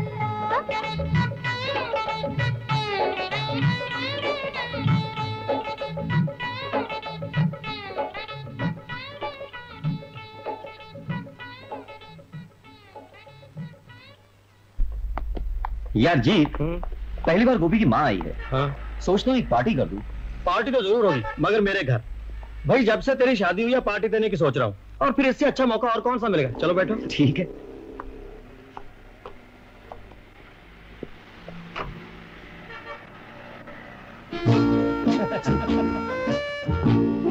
राम जी बहुत हो गया। अब आ जाइए इधर। कल फिर आ जाना इसी वक्त। जितने भी ताने मारने हैं मार लीजिए। मैं खाने के मामले में तकल्लुफ नहीं करता। बस यही तो मेरी जवानी का राज है। ए, ए, ए, काजली ए काजली अरे वो तो लोग खा चुके हैं। ये मीठा है मीठा।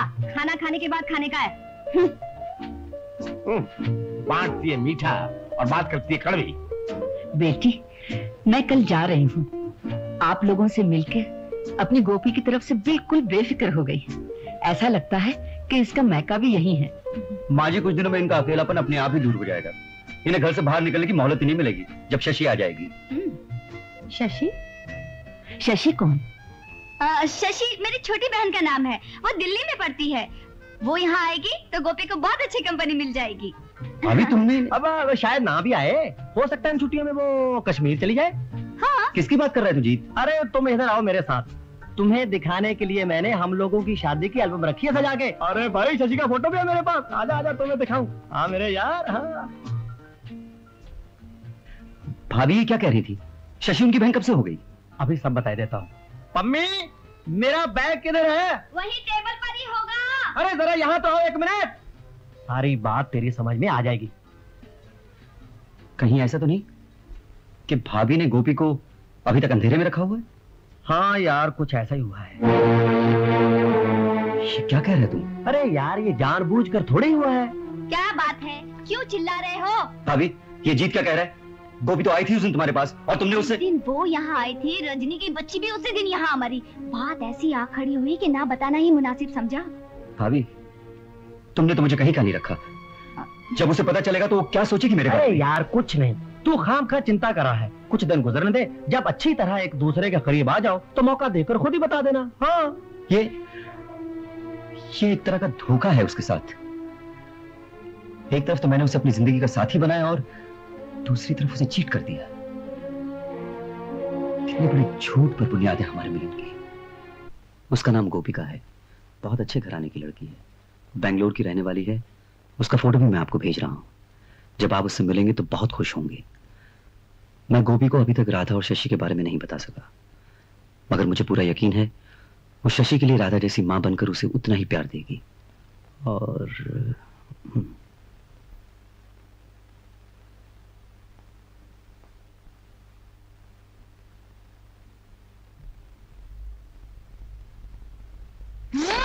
चोरी चोरी चुपके चुपके चिट्ठी लिखी जा रही थी किसी गर्लफ्रेंड को। आज तक तुमने ये राज मुझसे राज रखा आज सारा खाना फूट जाएगा। गोपी ये मेरा पर्सनल खाता प्लीज़ तो क्या हुआ? बीवी तो शौहर के हर राज की साझेदार होती है। मैं ज़रूर पढ़ूँगी। पूज्य बाबूजी आई। बाबूजी का वो वो मेरे पिता समान है ना उनकी चिट्ठी का जवाब दे रहा था तो। तो क्या हुआ? पढ़ने दो ना इतना घबरा क्यों है? सादर प्रणाम। मुझे यकीन है आपको जानकर खुशी होगी कि 26 जनवरी को मेरी शादी हो गई। मेरी क्यों? हमारी क्यों नहीं? हमारी सही लिख देता हाँ ठीक है ठीक है। जिस लड़की से मैंने शादी की है उसका नाम है गोपिका। बहुत अच्छे घराने की लड़की है। बैंगलोर की रहने वाली है उसका फ़ोटो भी भेज रहा हूँ आप देख लीजिए। देखो मुझे मुझे दिखाए बगैर फ़ोटो नहीं भेजना हाँ? हाँ नहीं भेजूँगा। आप उससे मिलेंगे तो धक तेरे की। खोदा पहाड़ निकला चूहा। मैं तो समझी किसी पुराने इश्क का मामला है लेकिन ये चिट्ठी तो किसी जेंटलमैन के नाम है। थोड़ी शक्की मिजाज हो तुम। ही पड़ता। नहीं तो तुम जैसे सीधे शादी को कोई भी बुद्धू बना सकता है। अच्छी लड़की है। अच्छा हुआ किशन ने शादी कर ली। नाना नाना नाना नाना मेरे बाबा की हाँ आई। लिखा है कि हम जल्दी आके अपनी शशि बिटिया को ले जाएँगे। और देख बेटी तेरी माँ की तस्वीर भी भेजी है। ये देखो। मैं दमू काका को दिखाती हूँ हाँ ले जा। दमू काका दमू काका मेरी मम्मी की फ़ोटो आई मेरी मम्मी की फ़ोटो आई। दमू काका मेरी मम्मी की फ़ोटो आई। कैसी है? बहुत अच्छी है बिटिया। हम कहते थे ना कि एक दिन तुम्हारी मम्मी ज़रूर आएगी। ये हुई ना बात। डबल प्रमोशन अब अपनी बीवी के चरणों पर पानी डाल क्या लक लाई है? वाह। अरे वाह। जो मेरे डिपार्टमेंट ने तीन साल की ट्रेनिंग के लिए मुझे लंदन भेजा था वो कुछ नहीं। हाँ भाई अपने देश से दूर अपनी नन्ही सी बच्ची को भूलकर तीन साल तक बनवास भी तो तूने काटा है ना? लेकिन यार मेरी शशि तो अब भी बनवास काट रही है। तेरी मेहरबानी से। हाँ किशन। वो भूल हो गई हम लोगों से यार। वैसे अजीत मैंने फैसला किया है कि गोपी को सब कुछ बता दूँ। अब मुझसे बर्दाश्त नहीं होता। लगता है हर घड़ी हर पल उसे धोखा दे रहा हूँ। हाँ हाँ ठीक है अब तो शादी को बहुत दिन हो गए हैं। कोई प्रेजेंट ले जा और प्यार से बोल दे। मैं तो सोचता हूँ उल्टा खुश हो जाएगी। एक पली पलाई बच्ची मिल जाएगी ना उसे। अब ये तो भगवान ही जाने। मगर इस प्रॉब्लम को एक ना एक दिन तो फेस करना ही होगा। क्यों ना आज ही? हाँ? क्यों ना आज ही?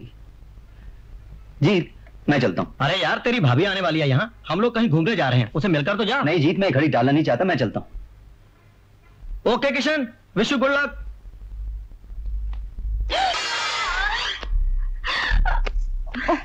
पाव जला तो नहीं बीबी? नहीं। ठीक है मैं साफ़ करता है।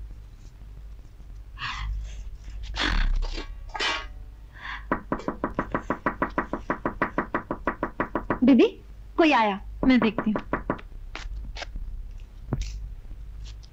नमस्ते अंसाम भैया और भाभी कैसे अच्छे हैं। वो लोग कहीं बाहर घूमने गए हैं। हाँ ये किशन बाबू की चिट्ठी आई थी। मैंने सोचा मैं दे आऊँ। किशन की चिट्ठी? तुम्हारे यहाँ कैसे? हाँ हमेशा आती है और साहब खुद लेने आते हैं। आज मैंने सोचा मैं दे आऊँ। अच्छा किया। कौन है बीबी? अरे रजनी। जा चाय पी ले। लाजू से कुछ खाने को भी दे दे। अच्छा बीबी।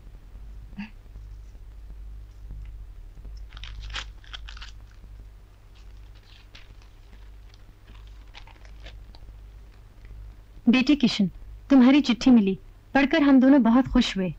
ये जानकर तो बहुत ही खुशी हुई कि तुमने दोबारा शादी कर ली है। शादी कर ली है अगर हमें पहले खबर मिलती तो हम ज़रूर आशीर्वाद देने आते। गोपिका बेटी को मैं नहीं जानता, मगर तुम्हारे खत से विश्वास हो गया है कि तुम्हारी बेटी शशि को गोपिका के रूप में नई माँ मिल जाएगी। तुम्हारी बेटी शशि को गोपिका के रूप में नई माँ मिल जाएगी? तुम्हारी बेटी शशि को गोपिका के रूप में नहीं माना चाहिए जाएगी। तुम्हारी मेरी शशि शशि गोपिका के रूप में नहीं माना मिल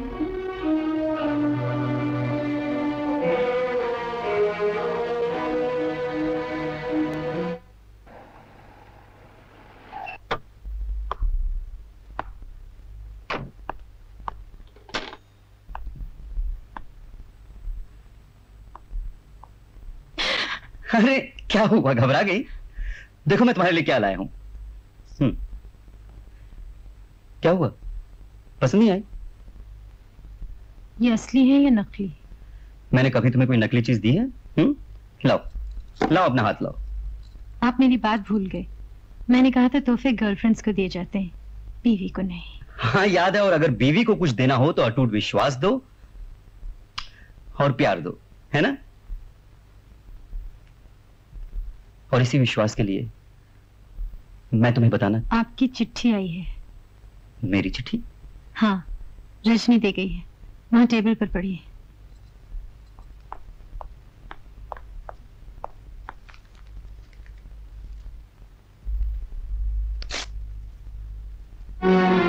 मैं खाना लगाती हूँ आपके लिए।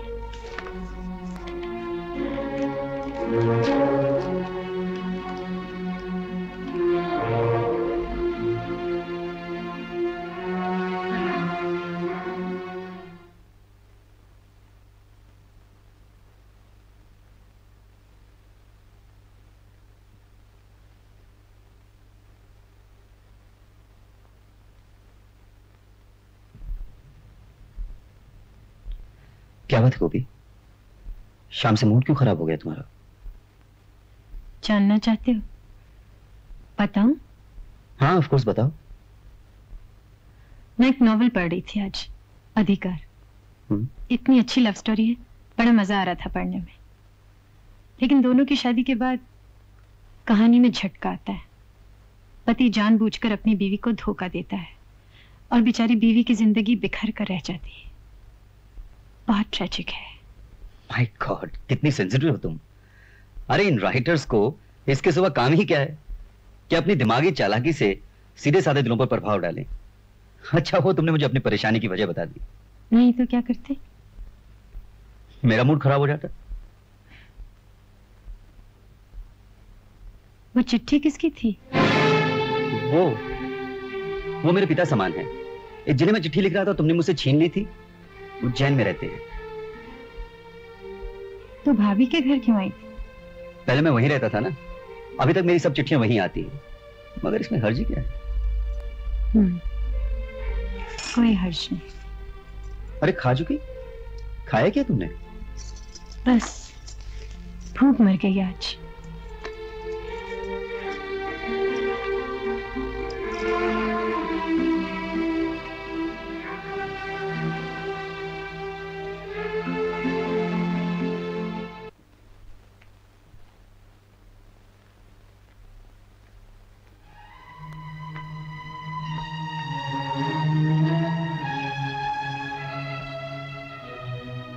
क्या हुआ गोपी?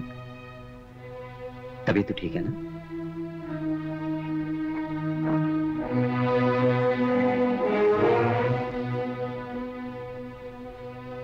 क्या बात है? जवाब क्यों नहीं देती? नहीं ऐसे नींद नहीं आ रही। तुम जाओ सो जाओ। नहीं नहीं। मैं तुम्हें अकेला नहीं छोड़ूँगा। आओ।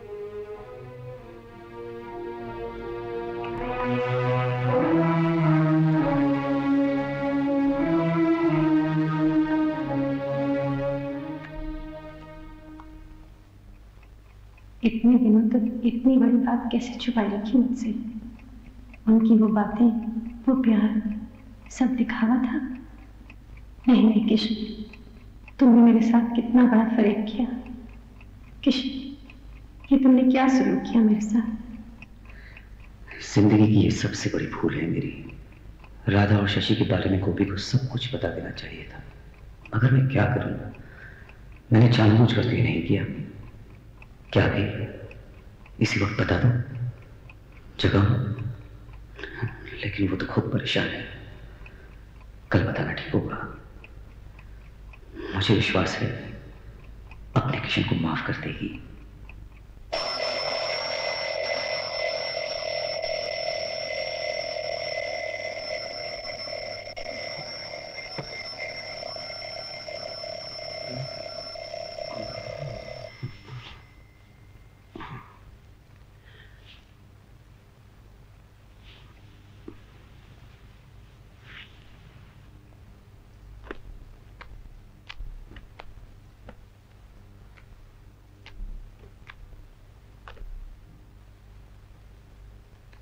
कर रही हो? मैं पूछ रही सब क्या है? मैं तुम्हारा घर हमेशा के लिए छोड़कर जा रही हूँ।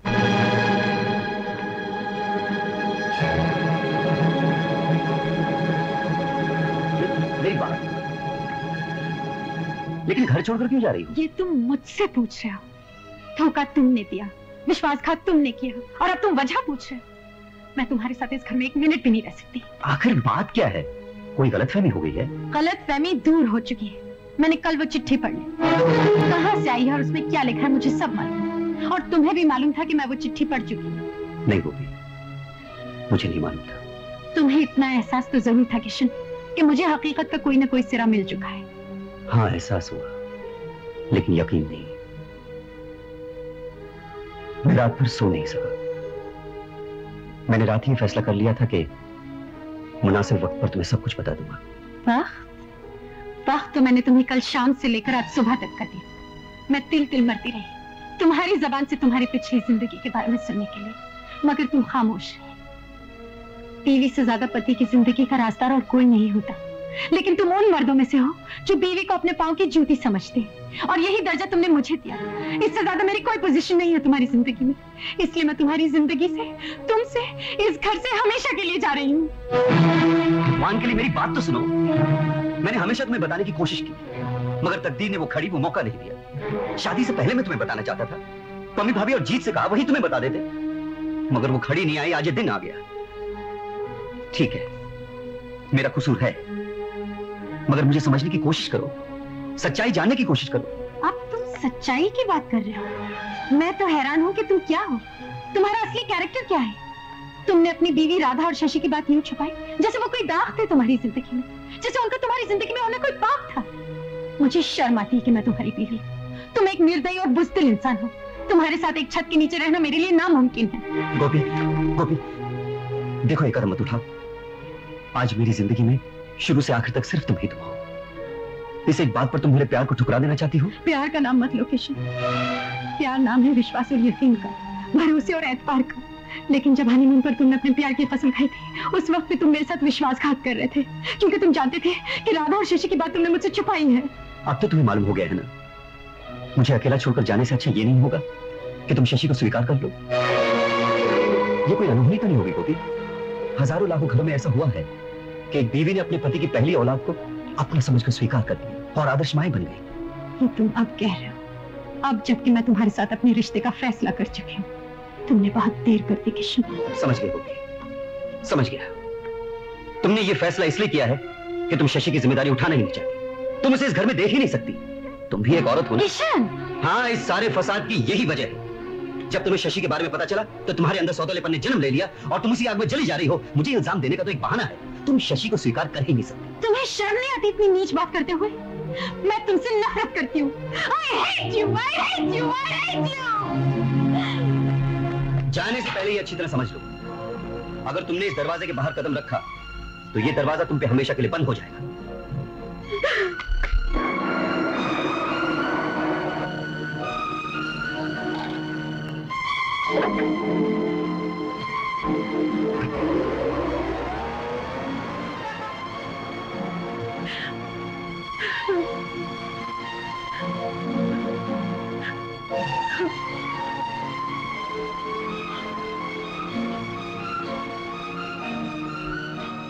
ला भाई किशन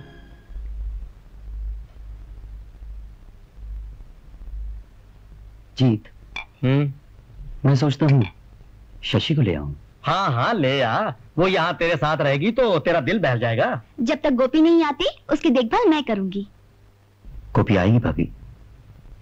मुझे तो नहीं लगता। अरे यार ज़रूर आएगी।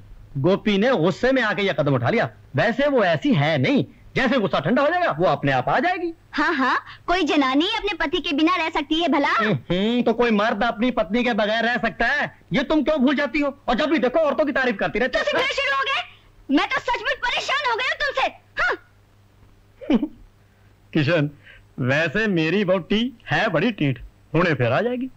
अरे हंसना यार। कल ही उज्जैन चला जाता हूँ। हाँ। पता नहीं शशि मुझे पहचानेगी भी है नहीं। जय श्री ओम नानी माँ जल्दी करो ना पापा को लेने स्टेशन नहीं पहुँचना है। अच्छा। अरे लक्ष्मी चलो भाई। गाड़ी स्टेशन पे पहुँचने के बाद पहुँचने का क्या फ़ायदा? चलो चलो चलो।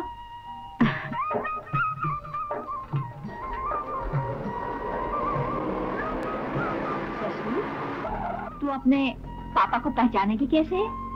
क्यों नानी?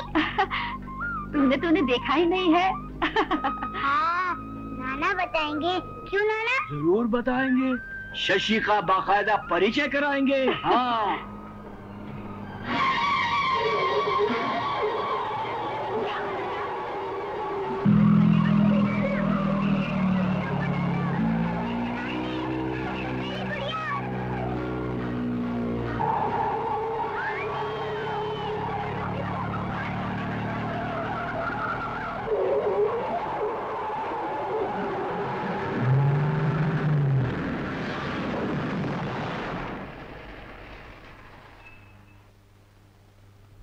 नमस्ते दामोदर। पाए लागी छोटे सरकार। आप अकेले? हाँ वो नहीं आई। लेकिन मुझे कोई स्टेशन पर लेने क्यों नहीं आया? घर के सारे लोग आपको उज्जैन स्टेशन पर लेने गए। आपको नहीं मिले क्या? नहीं तो? दीनदयाल शर्मा जी का क्या यही घर है? हाँ क्या बात है? आप कौन है? दीनदयाल जी के दामाद हैं साहब। मुझे अफसोस है आपको मेरे साथ थाने चलना होगा। क्यों? उनका एक्सीडेंट हो गया। है? एक्सीडेंट देखने वालों का कहना है कि जीप में जब आग लगी लाशें आग के शोलों की तरह इधर उधर जा गिरी। I am sorry mister Kishan साहब लेकिन बच्ची की लाश तो मिलनी चाहिए साहेब। यह कैसे मुमकिन है? लाशों की हालत तो आप देख ही चुके हैं। बच्ची तो जलकर राख हो गई होगी। और हाँ ये गुड़िया वहाँ पर ज़रूर मिली थी मगर एक्सीडेंट से काफ़ी दूर और इसीलिए शायद जलने से बच गई। छोटे मालिक इसी खिलौने से मेरी शशि दिन रात खेला करती थी, छोटे मालिक इसी खिलौने से दिन रात खेला करती थी। हे भगवान हे भगवान, ये मैं क्या देख रहा हूँ? मेरी आँखों के सामने सर्वस नष्ट हो गया।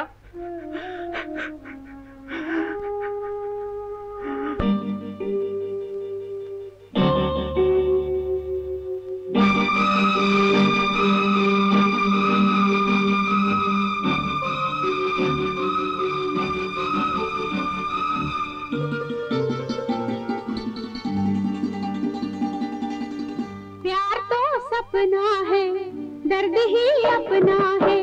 प्यार तो सपना है, दर्द ही अपना है।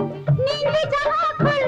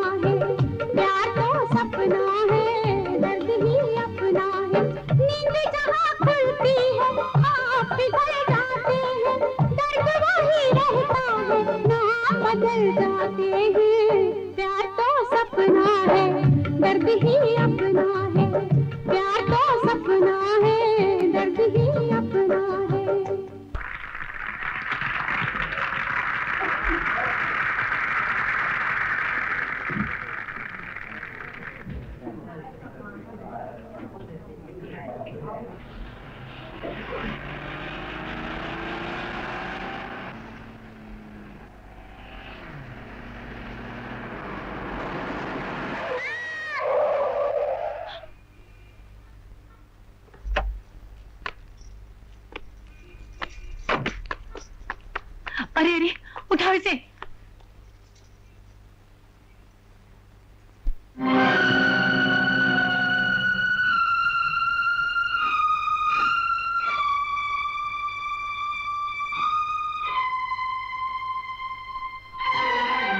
जब पता चला ना, छोटे मालिक का कलेजा फट गया। वहीं रोने लग गए और सीधे थाने से बंबई वापस चले गए। धन्य प्रभु, हमारी शशि बिटिया बच गई। मालिक देखेंगे ना तो जी उठेंगे। इसे पाकर तो मैं भी जी उठी हूँ काका। एक अंधकार में गिरने से बच गई। भगवान ने न सिर्फ़ इसे नई ज़िंदगी दी बल्कि इस बच्ची के हाथों मुझे भी एक नया रास्ता दिखाया ये तुम क्या कह रही हो बिटिया? कुछ नहीं काका। अपने आप से कह रही थी तुमसे एक बात करनी है। देखो शशि ज़िंदा है और मैं उसे अपने साथ बंबई ले गई हूँ। ये बात तुम किसी से नहीं कहोगे उनसे भी नहीं। मेरा मतलब है उसके पापा से भी नहीं। लेकिन बिटिया तुम तो सब बंबई ले जा रही हो ना? हाँ। तो फिर? ये सब तुम मत पूछो काका। और देखो मैं तुम्हें जैसे ही चिट्ठी लिखूं तुम फ़ौरन बंबई चले आना। अच्छा। मम्मी मम्मी देखो हमारे बाग का आम। अरे वाह। अच्छा मैं आप लोगों के लिए भोजन की तैयारी करता हूँ।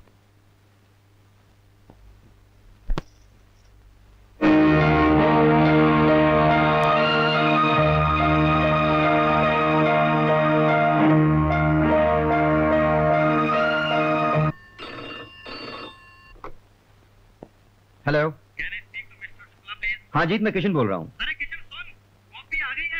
क्या? हाँ हाँ अभी अभी पम्मी का फ़ोन आया था गोपी वापस आ गई है और मेरे घर पर है।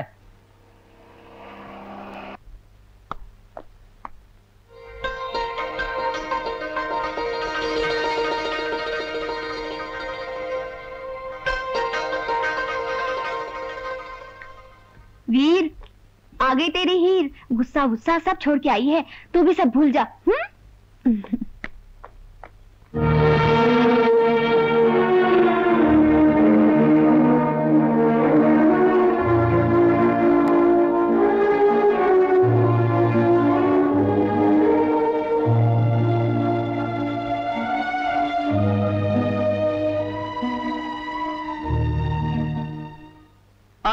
भाई बंद करो ये लैला मजनू का तमाशा जरा हमें भी तो भाभी से मिलने दो। नमस्ते। नमस्ते। तुमने तो हाथ ही कर दी भाभी। तुम्हें इतना गोल्डन चांस मिला इससे जान छुड़ाने का पर तुम गोता खा गई और फिर आप हँसी इसके चुगल गए अरे वाह इसे तो देखो कैसी चेहरे पे चमक आ गई है बीवी को देखकर। अगर मेरी बीवी वापस आ गई होती ना मैं तो शहरी छोड़कर भाग गया होता। तुम्हें शर्म नहीं आती ऐसी बातें करते हुए? चले जाओ ना किसी ने पट्टा डाल रखा है? अरे नहीं भाभी कहने दो इसे। गोपी के लिए कितना उदास था मैं ही जानता अरे मैं तो उदास ही था पर तूने तो रो रो के रात दिन एक कर दिए। चल पम्मी जरा चाय बना सबके लिए। नहीं जीत हम लोग अब चलेंगे। अरे वाह ये कैसे हो सकता है? दोनों इतने दिनों बाद इकट्ठे हुए हो। चाय पिए बिना मैं नहीं जाने हाँ। दूँगी हाँ। चलो जी जरा तुझे भी मेरे नाल हेल्प करो। अरे क्या? ओफो दोनों इतने दिनों बाद मिले हैं। प्यार मोहब्बत की बातें करेंगे। तुम क्या करोगे उनके बीच में हो? अच्छा अच्छा ठीक है ये बात है। तू फिर आजा किचन में मेरे साथ।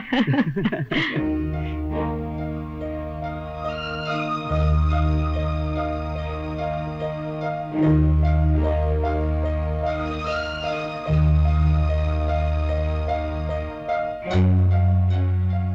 बात है गोपी? मुझे कुछ कहना है आपसे। जो कुछ कहना है बाद में कहना।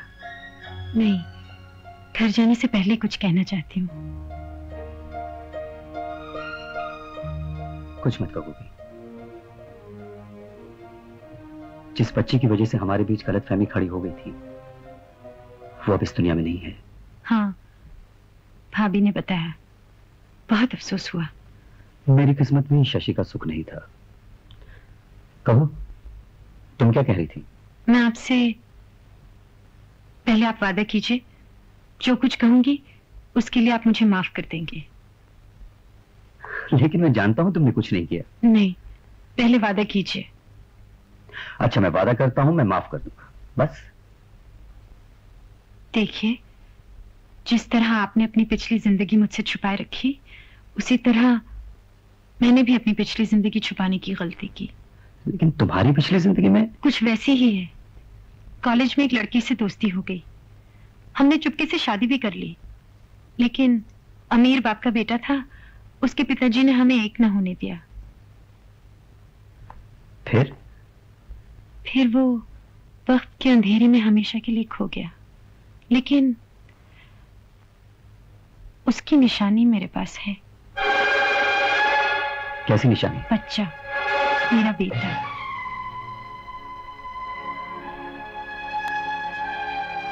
ये बात मेरे सीने में एक जुर्म की तरह से लग रही थी। आज तुमसे कह के मुक्ति मिल गई। लेकिन आज तक ये बात तुमने मुझसे देखो तुम वादा कर चुके हो तुम कुछ नहीं कहोगे। कुछ पूछोगे भी नहीं। मगर तुम मुझे माफ़ भी कर चुके हो।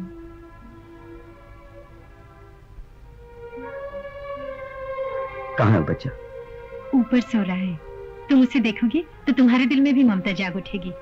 बड़ा प्यारा बच्चा है। अभी लाती हूँ।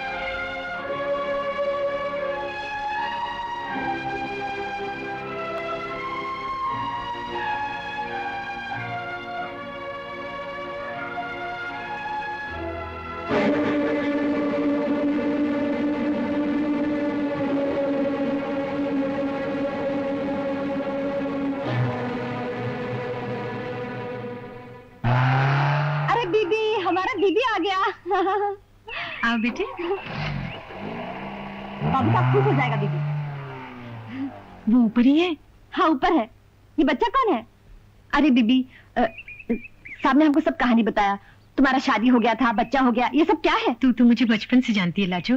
दरअसल ये उन्हीं का बच्चा है। देखो बेटे आप यहाँ से ऊपर जाओ वहाँ आपके पापा इंतज़ार कर रहे होंगे। हम बाद में आएँगे हाँ? ये लड़का बाबू साहब का है? लड़का नहीं लड़की। हाँ? मैंने उसे लड़का बना दिया जिससे उन्हें किसी बात का शक न हो। ये बच्चा उनकी पहली पत्नी का बच्चा है जिसे किस्मत ने मेरी गोद में लाके डाल दिया। और अब मैं ही उसकी माँ भी हूँ। वही हुआ जो वो चाहते थे। लेकिन असलियत छुपाकर जो दुख उन्होंने मुझे दिया है मैं भी उन्हें उसी दुख में डाल के तमाशा देखूँगी। देखूँगी एक मर्द औरत से जो चाहता है वक्त आने पर क्या वही कुछ उसे भी दे सकता है?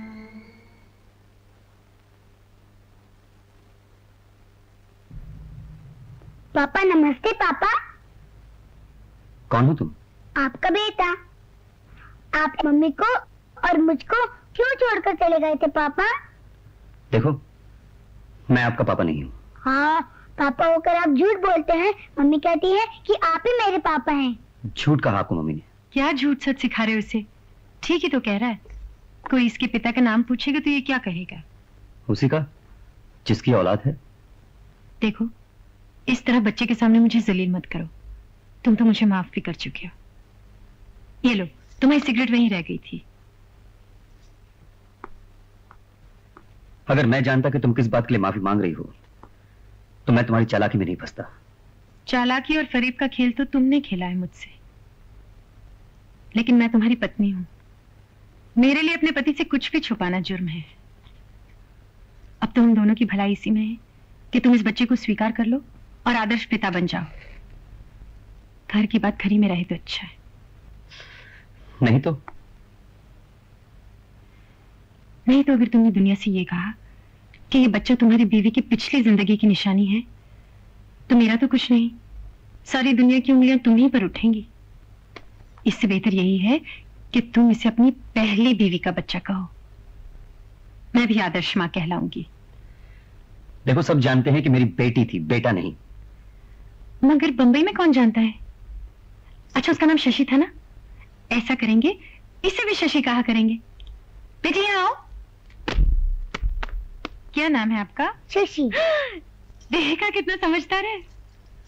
ये कैसे मुमकिन है कि मैं इसे अपनी शशि कहकर सब लोगों से मिलाता क्यों नहीं?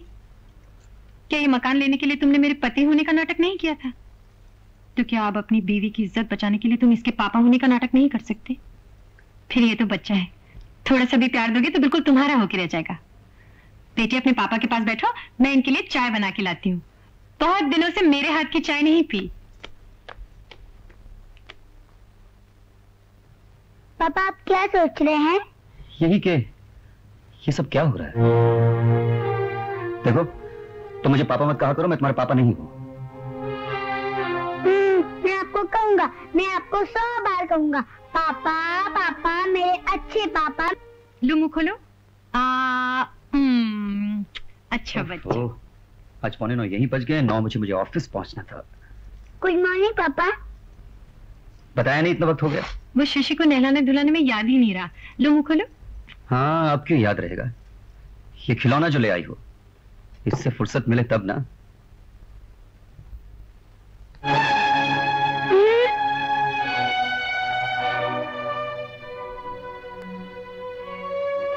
नहीं बेटे पापा को देर हो रही है पहले उन्हें खा लेने देंगे अच्छा?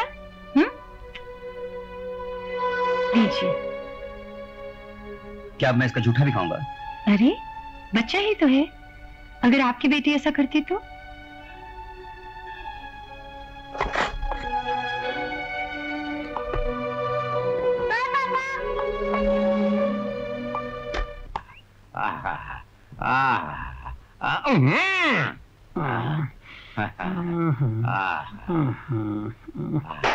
जिया जी श्याम अरे किशन बाबू जरा सुनिए तो। इधर तो आइए। हाँ जी कहिए। मैं क्या कहूँ किशन बाबू? जब से तुम इस घर में आए हो मैं ही सुनता रहा। अरे अब तो सारा मोहल्ला सुन रहा है। क्या सुना है मोहल्ले वालों ने? यही पहले सुना था कि तुम शादीशुदा हो। फिर पता चला कि मियाँ बीवी का नाटक था। उसके बाद सुना कि इस बीवी से पहले भी एक बीवी थी जिसका स्वर्गवास हो गया है। और अब सुना है कि पहली बीवी का बच्चा आ गया कहीं से। आप कहना क्या चाहते हैं लालच? यही कि किशन बाबू बहुत बड़े नाटककार हो तुम।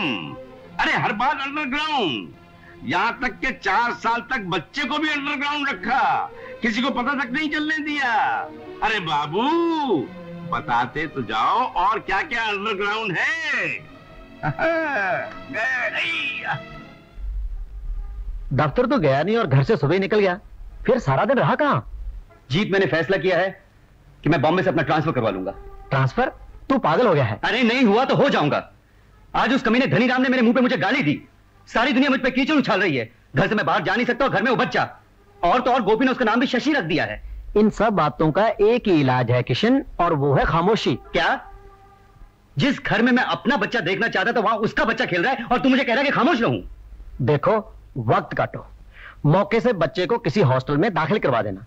लेकिन उस वक्त तक तो तुम्हें थोड़ा बहुत एडजस्ट करना ही पड़ेगा ना। और तमाशा करने से तो तेरी ही बेइज्जती होगी किशन। मेरी बेइज्जती होगी। तू भी वही कह रहा है जो गोपी कहती है। ये कभी नहीं हो सकता this is impossible Kishan Kumar Shukla ji हैं? आप कौन है? आप कौन हैं? ठहरिए। हम्म। मम्मी वो पूछते हैं मैं कौन हूँ? जाके बोलो। हम किशन कुमार शुक्ला जी के बेटे हैं।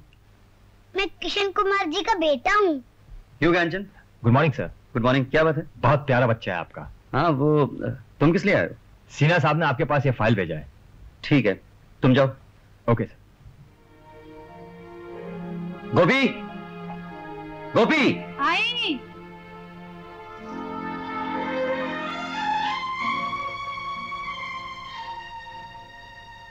शशि मेरा बेटा है इस बात का ढिंडोरा पीटने की क्या ज़रूरत है?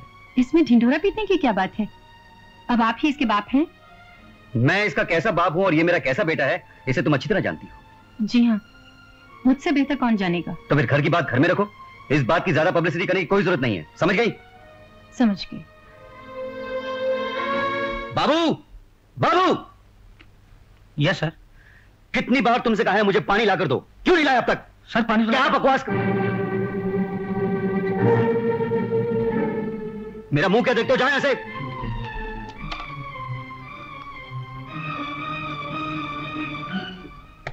शशि? शशि बाबा? शशि बाबा?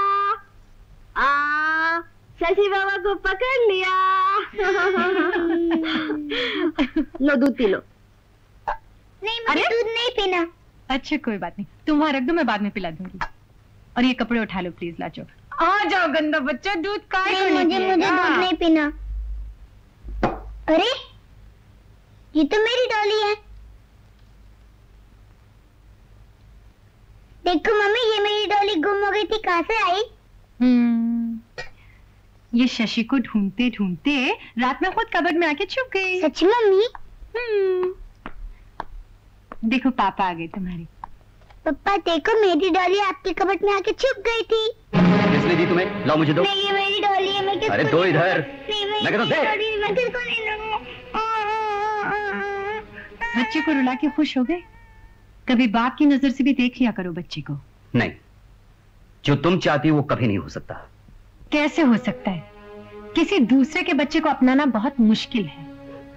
यही कभी मैं तुमसे चाहता था। और तुम घर छोड़कर चली गई। जो तुम न कर सकी। अब उसके लिए मुझे क्यों मजबूर करती हो? मैं तुम्हारे बच्चे की वजह से घर छोड़कर नहीं गई थी। घर छोड़ के गई थी तुम्हारे झूठ और विश्वासघात के कारण। मैं सब समझता हूँ सब जानता हूँ। और अब तुम्हें अच्छी तरह पहचान भी गया हूँ। अफसोस तो यह है कि तुम कुछ नहीं जानते कुछ नहीं समझते। जरा इस पे दस्तखत कर दो। क्या है? शशि के स्कूल का एडमिशन फॉर्म तुम ही कर लो मैं क्यों करूँ? दस्तखत बाप का ज़रूरी है। लो कर दो।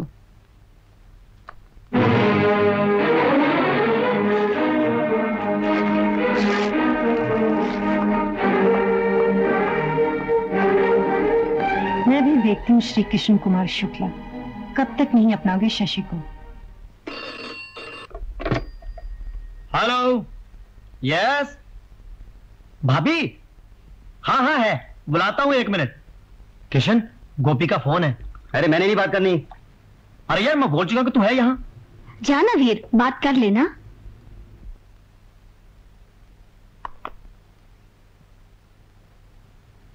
हाँ बोलो। क्या कर रहे हो? पी रहे हो? हाँ हाँ मैं पी रहा हूँ। देखो रात बहुत हो गई है। अच्छा यही है कि तुम घर चले आओ। नहीं मैं नहीं आऊँगा। अरे मैंने कहा ना मैं नहीं आऊँगा। क्यों? मैं कोई बच्चा हूँ जो इतनी देर तक बाहर नहीं रह सकता? किशन शशि और मैंने अभी तक तुम्हारे इंतज़ार में खाना नहीं खाया। तुम आओगे तो सब साथ खा लेंगे। मैं खाना भी नहीं खाऊँगा। अरे भाई कब तक नहीं जाओगे? कल तो तुम्हारे घर में पार्टी है। मेरे घर में पार्टी? हाँ। क्या बात कर रहा है? किस पार्टी की बात कर रहा है तू अरे शशि के बर्थडे की। भाई तुमने ही तो इनविटेशन भेजा है। मैंने। कहा है बताओ? तुम्हें नहीं मालूम? अरे ये देखो हम्म Mr. and Mrs. Krishan Kumar Shukla request the pleasure of your company and get together to celebrate the birthday of their child Shashi. ये एक और तमाचा है मेरे मुँह पर बात घर से निकलकर बाहर तक पहुँच रही है मुझे सारी दुनिया में बदनाम करने पर तुली है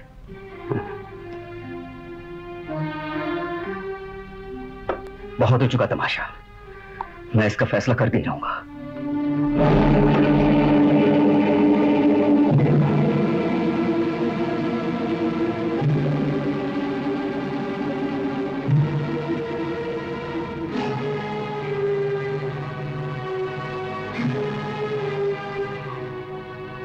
क्या बात है?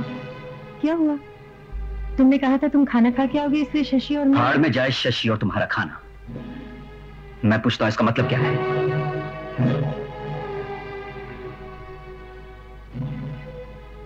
लगता है तुमने हंगामा करने की कसम खा रखी है लेकिन मैं झगड़ा नहीं करना चाहती। मैंने तुमसे पूछा इसका मतलब क्या है? जवाब दो मुझे। ये इनविटेशन कार्ड है जो तुम्हारे तमाम दोस्तों को भेजा गया है। उन्हें कल इनवाइट किया गया है शशि की सालगिरह पर। कल हमारे बच्चे की सालगिरह है। उसे हमारा बच्चा मत कहो। इस सारे फसाद की जड़ तुम्हें प्यारा होगा। लेकिन मेरे लिए वो कुछ नहीं है। मैं उसे बर्दाश्त नहीं कर सकता। लेकिन तुमने ये कैसे सोचा कि उसकी सालगिरह यहाँ मनाई जाएगी? मेरे घर में? मुझसे पूछे बगैर मेरे नाम से तुमने मेरे दोस्तों को कार्ड कैसे भेजा? मैं ये पार्टी नहीं होने दूँगा। हरगिज नहीं। इस वक्त तुम होश में नहीं हो किशन। तुमने शराब पी रखी है। बेहतर यही है कि हम दोनों कल सुबह बात करें। नहीं। अभी बात करनी है मुझे। मुझे अभी फैसला चाहिए। मैं कुछ नहीं सुनूँगा मैं अभी फैसला करके ही रहूँगा। तो सुन लो मेरा फैसला। ये पार्टी होगी ज़रूर होगी। इस घर पे अगर तुम्हारा अधिकार है तो मेरा भी है। जो हक तुम्हें हासिल है मुझे भी है। रही तुम्हारे नाम से कार्ड भेजने की बात सो अब जा चुके हैं। लेकिन तुम चाहो तो पार्टी में सब मेहमानों के सामने शशि को अपना बच्चा कहने से इनकार कर देना। तुम चाहो तो यह भी बता देना कि ये सिर्फ़ तुम्हारी बीवी का बच्चा है, जिसे वो अपने मायके से अपने साथ लाई है। जो चाहो सो तमाशा करो। ये तुम्हारी मर्ज़ी है, तुम्हारा फैसला।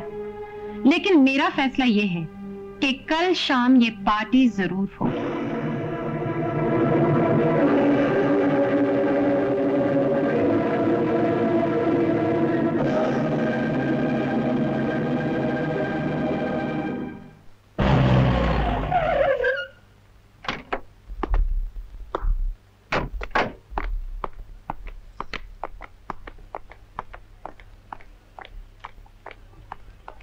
गोपी किशन कहाँ है? ऊपर कमरे में। बैठे शराब पी रहे हैं। ओह गॉड पर तुमने भी तो हद कर दी गोपी। इतना बड़ा फ़ंक्शन रख लिया और किशन को बताया तक नहीं? वो मैं बाद में समझाऊँगी। आप जाके उन्हें ले आइए सब उन्हीं को पूछ रहे हैं। अच्छा।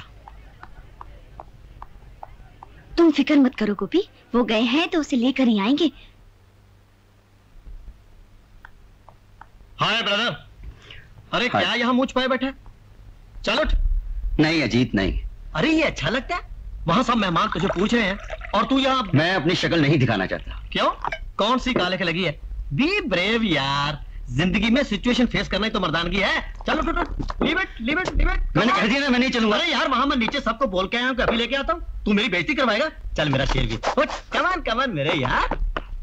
तिवारी साहब बहू जी में ऐसे ऐसे गुण हैं कि अगर बयान करने लगूं तो सुबह हो जाएगी। बस बस लाला जी। हम तो इनके सिर्फ़ एक ही गुण के फ़ैन हैं और वो है इनकी आवाज़। क्या बात है। अरे आपकी भाभी गाएँगी। लेकिन जरा किशन को आने दीजिए। क्यों नहीं? ज़रूर ज़रूर। ये लो वो आ गया Kishan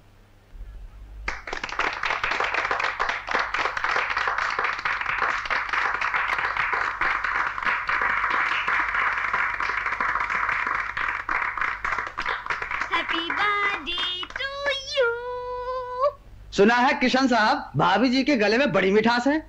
हाँ भाई किशन हम भाभी जी का गाना ज़रूर सुनेंगे। ये कहें तो भला मैं इनकार कर सकती हूँ? ये अपनी मर्ज़ी के खुद मालिक हैं। कहने के लिए। मगर हम औरतें तो अपना मालिक अपने पति को मानती हैं।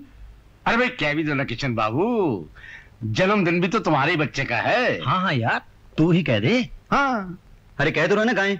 गाओ। गाओ।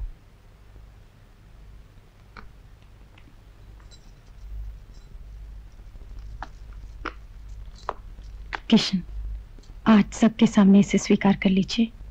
आप ही का तो है। लो।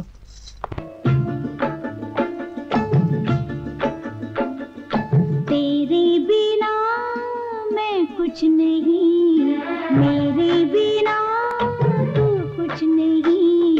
तुम भी कहो जी पिया मेरे संग संग स्वीकार किया मैंने।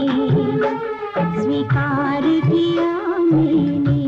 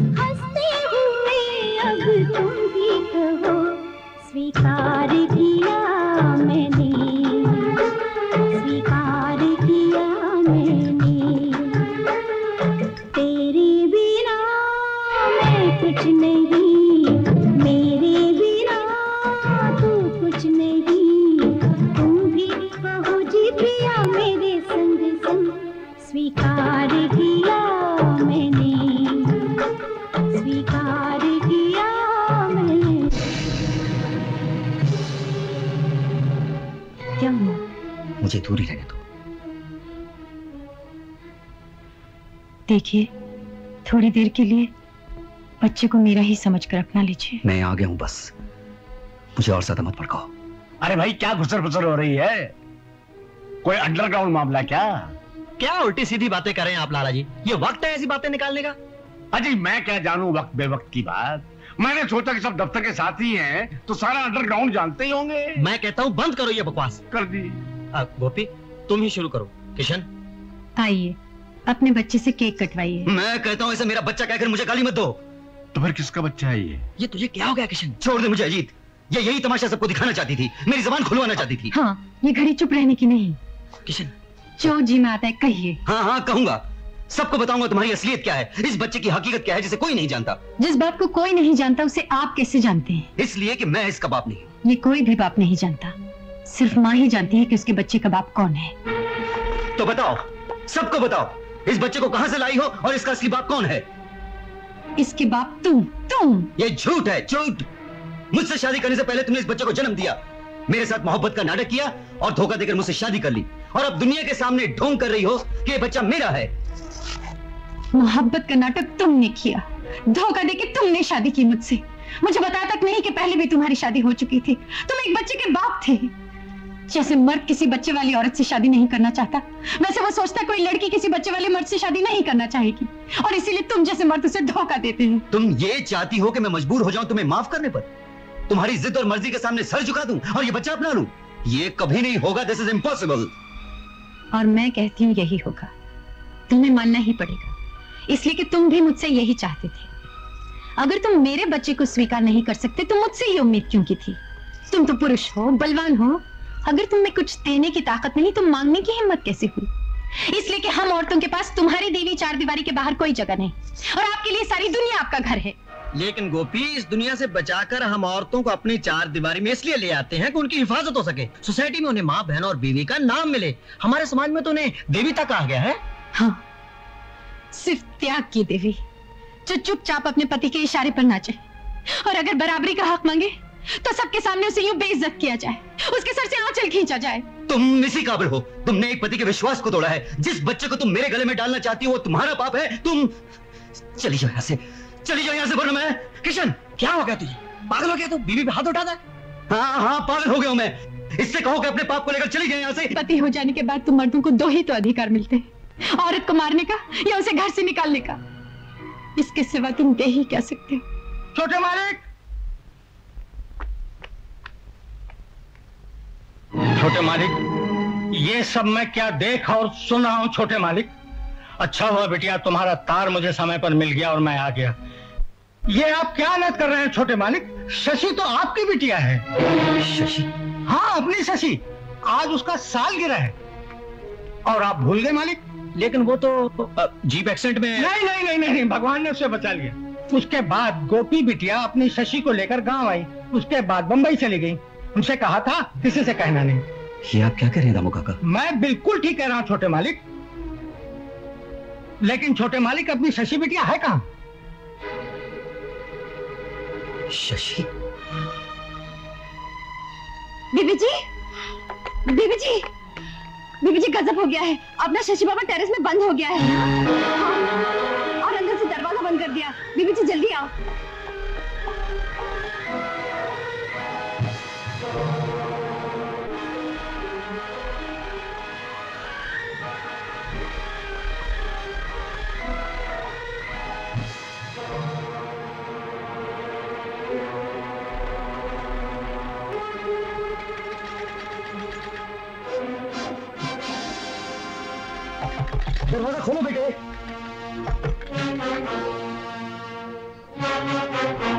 शशि बेटे, दरवाज़ा खोलो।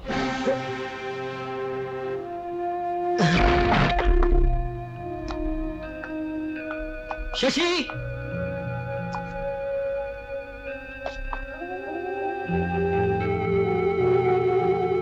शशि बेटे, रुक जाओ। कुछ नहीं कहूँगा मैं। शशि!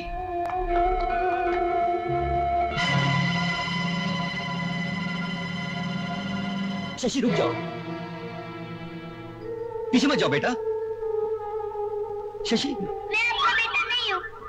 मगर बेटा बेटा मैं तो आपका ही पापा हूँ। नहीं आप मेरे पापा नहीं है। आपने मम्मी को मारा मुझे भी मारेंगे। नहीं बेटा नहीं मारूँगा। वो वो मेरी भूल थी। पीछे मत जाओ। मेरे पास आ जाओ। नहीं नहीं आप मेरे पास मत आओ। मैं सच्ची आपको कभी नहीं पापा बोलूँगा। अपने पापा को माफ़ कर दो। नहीं बेटा नहीं।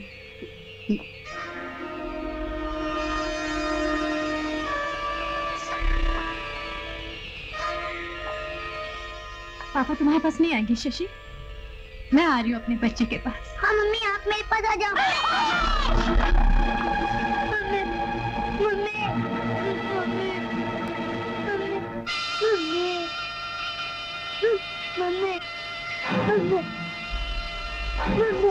mummy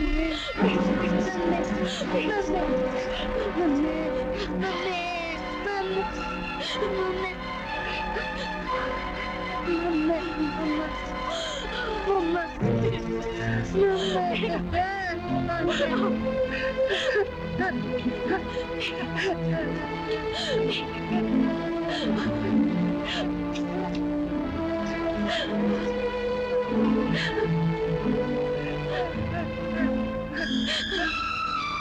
वाह गोपी, वाह।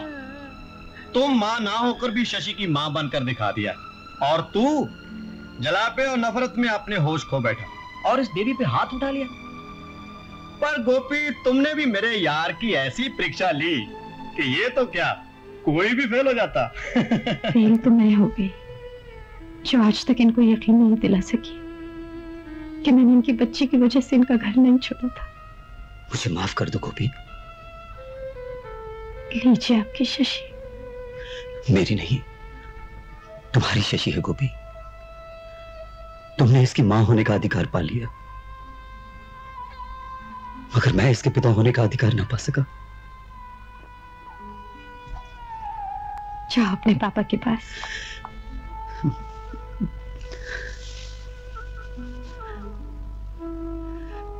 आज मुझे मालूम हुआ कि मर्द बाप भी हो तो भी बड़ा कठोर होता है। और औरत माँ ना भी हो तो फिर प्यार का सागर होती है। तेरे बिना मैं कुछ नहीं मेरे